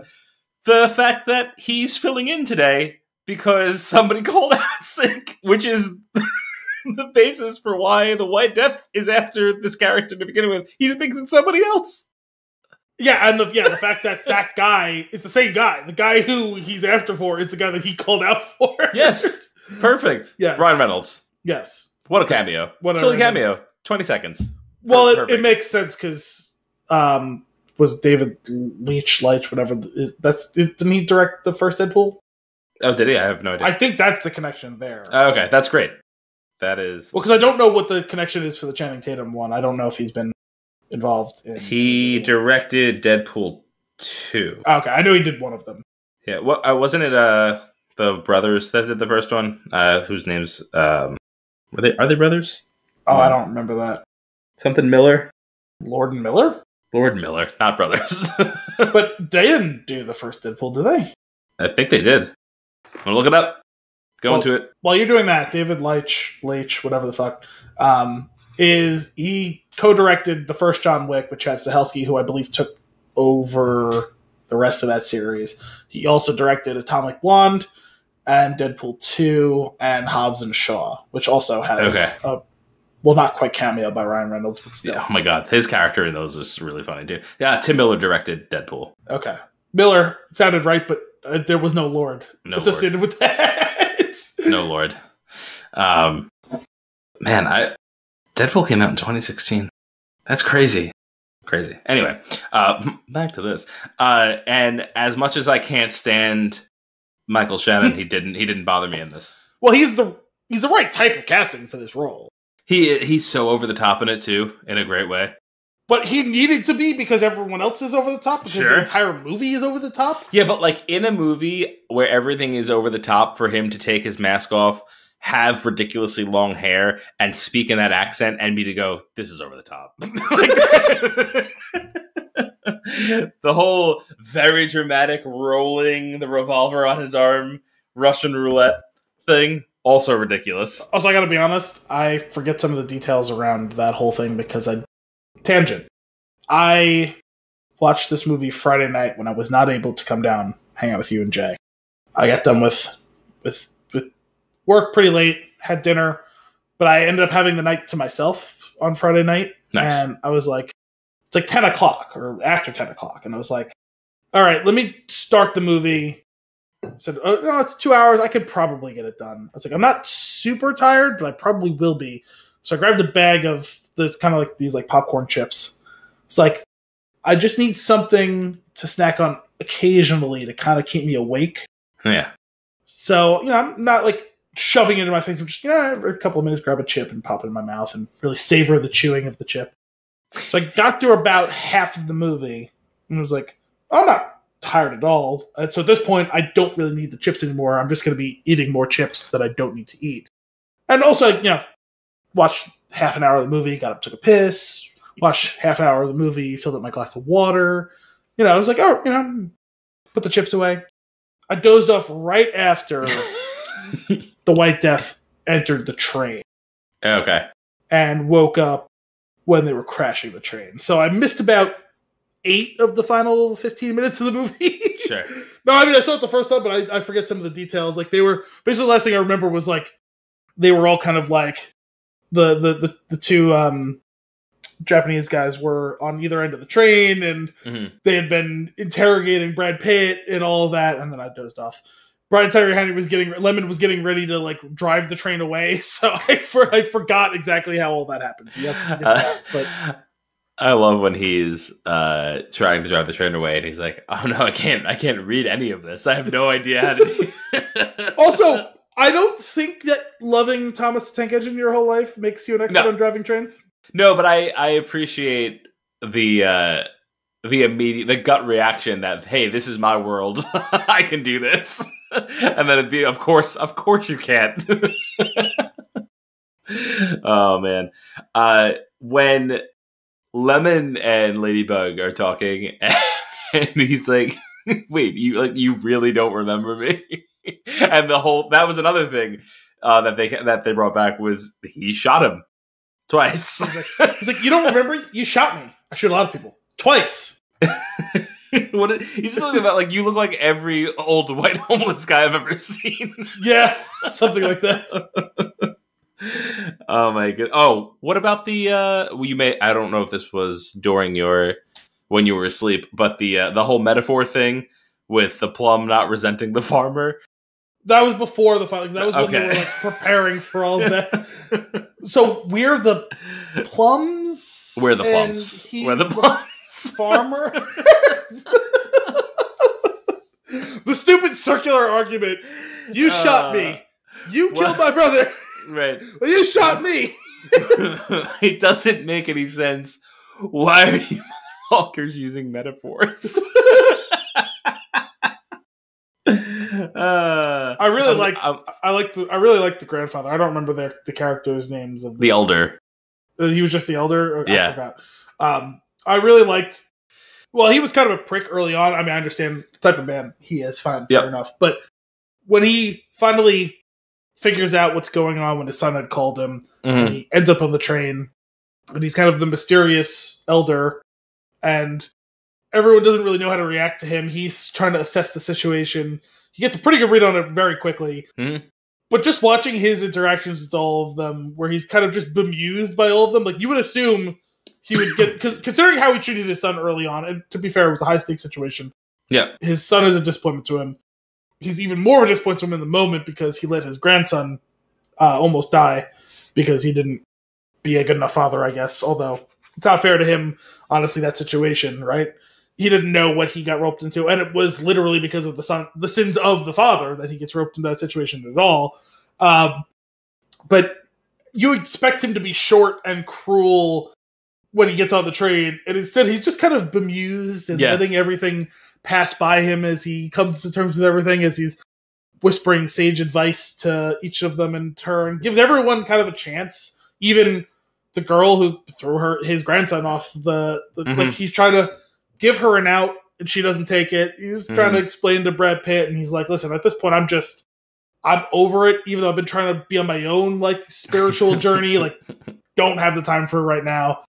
This is just this was supposed to be a snatch and grab and instead I've been bitten by a poisonous snake which I had already been stabbed with the antivenom from, almost assassinated by a person that I barely even knew existed. I'd also been chased around by these two guys who've already shot me in the past. So, like, done with it, but also still very willing to see it through at that point, Yep. which is uh, admirable. It just, I don't know, the, I appreciated everything about the Elder as he's just kind of like, he should be losing his shit and he should have just honestly killed everyone on the train mhm. the second he got on. It would have simplified things for him. I, I don't. There's something about the way that he went about everything at that point that I really appreciated, and I found it. I, I completely agree, but there's also there is also something too like that is a specific character archetype, like and like there's and which is great. Like it's like it's like savoring every moment because every moment matters. Like so, like he he really is this character that is living in this moment, and like he has one very specific thing that he does, and it's not quite time to do it yet, so he can be here now. And like Yeah. th- there's something so cool about that, but there's, there's almost, also- there's almost shades of Obi Wan in the original Star Wars to Yeah. it, but a little less curmudgeonly and a little Which- bit more, like I said, just kind of like with a. It's almost an intersection between Obi Wan and Yoda, actually. which makes that's kind sense of though, the- like the state- classic samurai film type of thing, Sure, you know. but he's got Uh, like the the kind of like the like the capable and powerful and dangerous versions and mentorship versions of Obi-Wan with the kind of bemused and eccentric old manness of Yoda. Yeah. Oh God. Oh, uh, no, knowing a little bit more than everybody else in the room at Yes. any given time. But but also playing dumb the way Yoda Yeah. does when he first when Luke first shows up. take you to him. uh, what I did love about that too is like on top of all that, while you actually have this really well constructed character with a great performance, there's also a very like real life scenario in there when he sits on the train. The train is empty, and he sits down next to him, and Ladybug goes, "Dude." Train car. The entire train is empty. It's only corpses and empty seats on the train at this point. Uh, frankly, we never saw the train conductor, which doesn't make a lot of sense. Who was driving the train At that point, at any point? But yeah, specifically at the end. Yeah. Well, wait, no, it makes it makes one more stop, and that's whenever the White Death gets on the train with all of his people, and they start the train up again. So no, I know, but we never saw who had been driving it five seconds earlier, though. Yeah, He just abandoned the train. I mean, I guess he probably got yeah, I probably would have left, right? paid off or whatever. oh Well, yeah, no, that's. Or dead. He might be dead. I'm just, I you know, it, for a movie that was so up on the details, it was odd to not have any sort of reveal or moment that indicated it. I I didn't think about it the first time I watched it, but the second time I was like, because you know he makes a note about the fact that he the White Death makes a note on the phone, or well his consigliere. It's like, um, we bought out the whole train. So Yeah. anyone who's on that train still, we'll deal with you when you get here. And Yeah. you know, the elder was like, "Oh yeah, no, I, I met you guys along the way because my son told me where you were going, and I'm here because I also would like to go meet the White Death." You know, Yeah. it was just it was a, it was just one odd little detail I noticed the second time I watched it, but um, yeah, I don't Hmm. know, it's. it's I uh, so I pulled up the IMDb has some of the quotes here, Mhm. which I feel like is always a good place to dive into when we have the time because it, it sparks some some fun parts of the movie. But uh, similar in the similar vein to the person sitting down next to them on the train when the entire train is empty, being like a very annoying thing that I'm sure you've experienced at some point or another.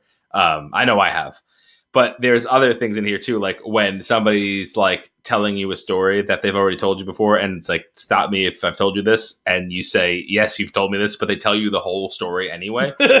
uh, it's then the Hornet and Ladybug are going back and forth, and she says one little prick, and you know what happens?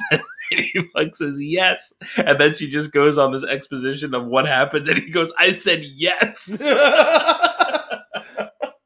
that was just so like to have like these little like very human moments in this very ridiculous movie is so funny.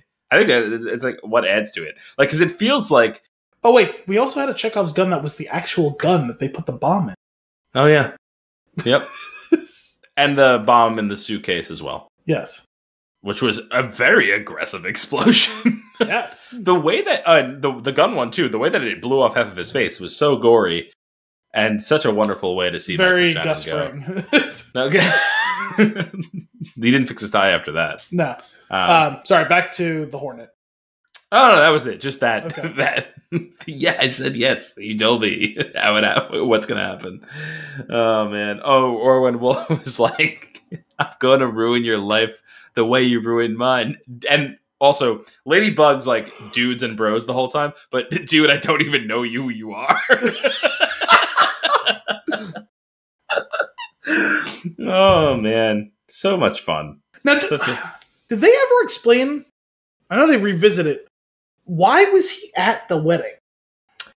Uh, they did explain it. He was on a job. I just point. don't remember what it was because the Hornet was also at the wedding on a job totally unrelated to him, and it was to assassinate the Wolf's boss, right? But she kills everyone. She kills everyone. Yeah, he, but he does didn't. They also made a point of like that he's more about snatch and grab. So I think he, he might have been there to get something. Yeah, he was there to rob something from someone, but I, I couldn't remember if they ever explained who. Yeah, I don't remember. Okay. I have to rewatch it, and that's okay. I will rewatch it. Yeah, no, I was just curious if you caught it because I was I had forgotten the fact that that was the whole thing with the Hornet was I remembered that whoever was in the costume was Mhm. also an assassin and that it was like a weird late stage reveal, but I forgot that that was the detail. So when it was going on, I was like I was like, wait, that's right. He wasn't assassinating them; it was the other person. It's like, but I couldn't. Uh, that's what made me think about it. It's like, wait, so why was he there then? Like, obviously So- he was working. I just I couldn't remember what specifically he There was something to do with the case and the money. Where uh, do you remember when the mascot grabs the case from Ladybug? Yeah. and tries to take it. She says something about get not having gotten paid for that job or like that was the money for that job that she was like that's why she's on the train to get it. So like I wonder if like he w- did he take money that was going to be the money that was paid to her? I don't remember. I really don't remember. Well, I don't. I wonder if she must have backtracked, or if they let a intentionally let a clue, because that was actually something I forgot the first from the first time I watched it to this time. I was watching it the second time. I had totally forgotten that Hmm. it was arranged for all of them to be on the train by hook or by crook because Yeah. the White Death wanted to. It was kind of like the usual suspects, where the White Death wanted to clear his accounts of everyone he felt owed a debt at the same time. Where like Lemon and Tangerine were the ones who killed the the people that worked for him. Um, he thought Brad Pitt's character was the one who Right. killed his wife, right? Clive or something like that.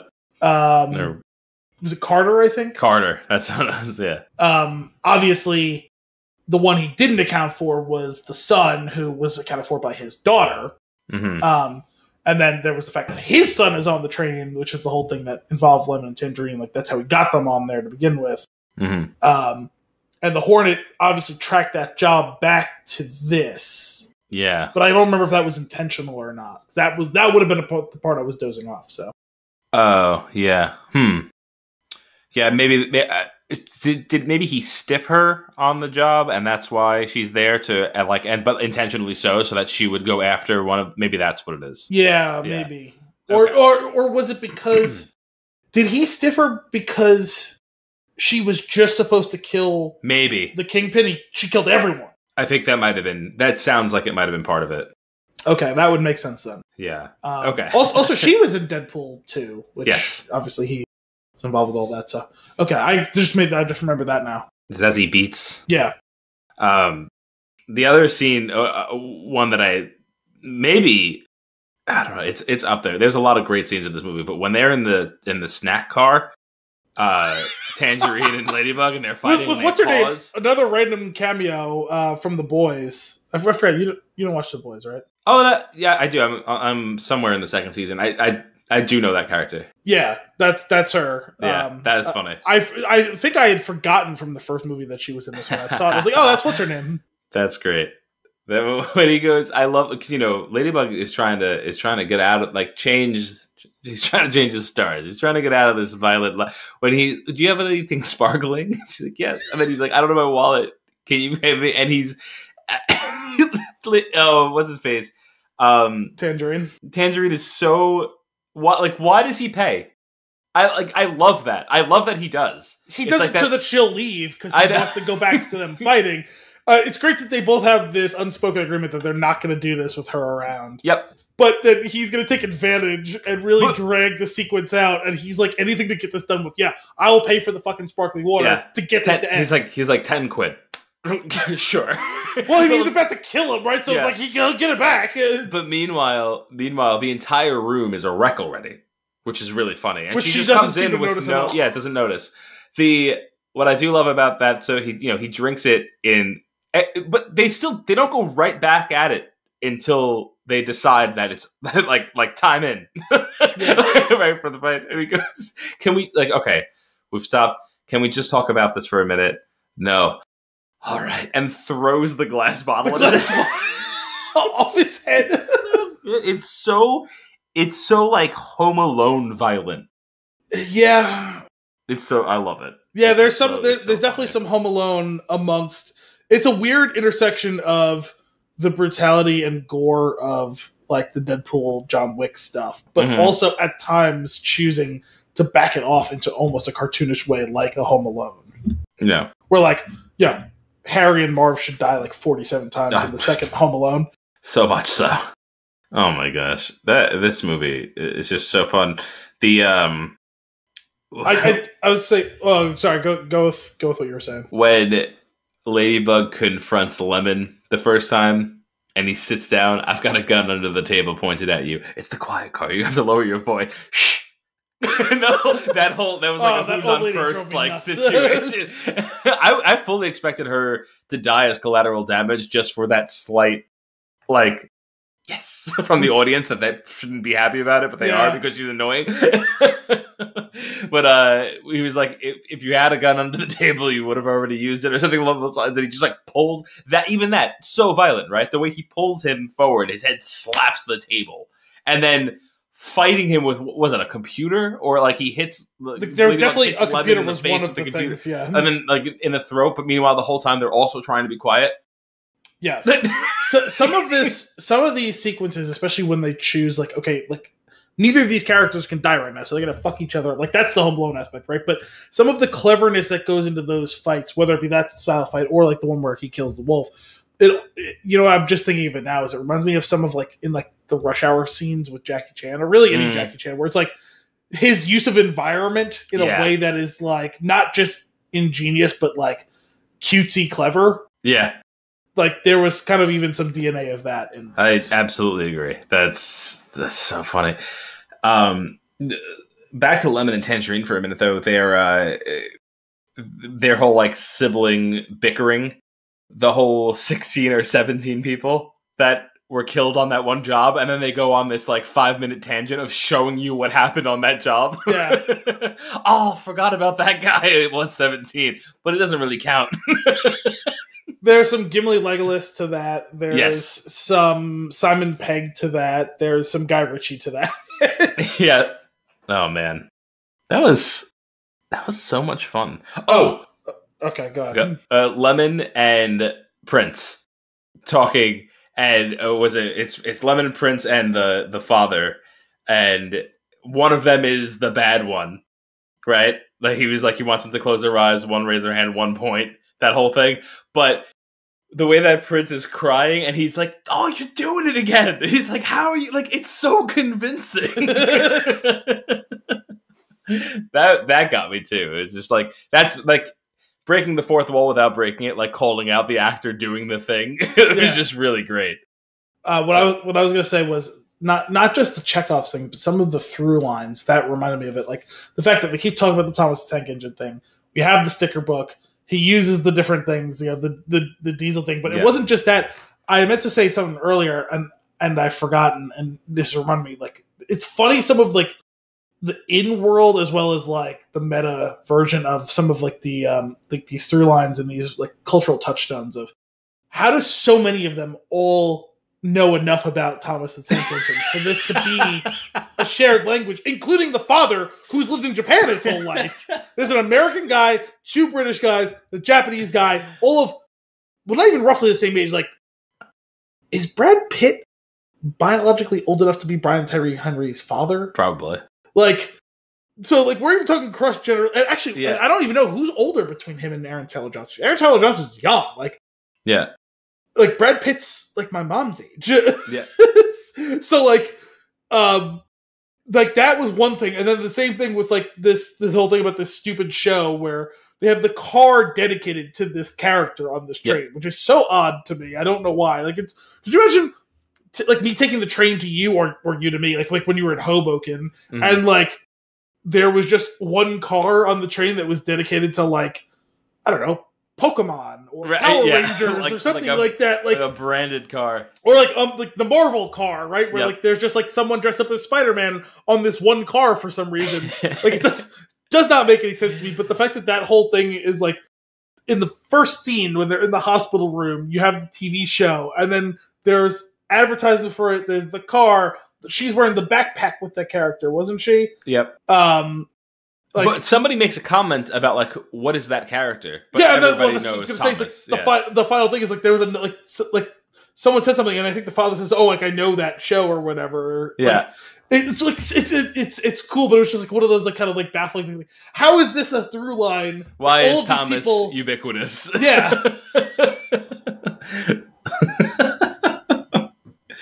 oh man, you and uh, when uh, uh, Tangerine finds Lemon dead, and he's like, "You're, well, you're the best Thomas I know," or something along those lines, or was it the other way around? Oh no, uh, Lemon tells Tangerine, dead Tangerine that he's Thomas. Yeah. well, he says, he says he goes, "I always thought you were this, but really you were a Thomas all Yeah. along, or something like that." Yeah, so Was it Percy or something like that? I thought you were was a Percy Something. or Roger or something. Which, like, also, I don't know Thomas the Tank Engine, so it it's completely lost on me. Yet so funny. I I remember I definitely watched it some as a kid, but I I I was like five. Like I don't Yeah. remember that. Sure. Oh my god, so so funny. There's one other thing that caught my eye. I when when they're in the train car at the front when they're driving the train and like it's going crazy and the thugs are in there and they're fighting with them. And Ladybug says to the thugs, "Hurt people, hurt people." Actually, I so consistent in There the was- whole movie. I there was uh yeah him doing this like fucking dime store therapy shit because Yeah. he's literally just learned in therapy. Yes. Um, Constantly referencing his therapist the same way, Dr. Richard Nygaard style. Yeah, Dr. Richard Nygaard. oh, There- man. I I appreciated we didn't talk about this like e storyline, but the whole thing with them with the White Death people calling Tangerine with updates across the whole thing, Yep. and them realizing there's something wrong, but they can't prove it. Oh yeah, no, we definitely have the the, the son and the money, Yep. which they do minutes before the conversation. Mhm. But while he's on the phone, the son dies and they lose the case. yeah. so oh, It's, want- it's very Abbott and Costello, that that whole thing. Like Yes. where like he's everything's fine from literally this second, but in the next second it's completely not fine. Yes. could not be less fine. yeah.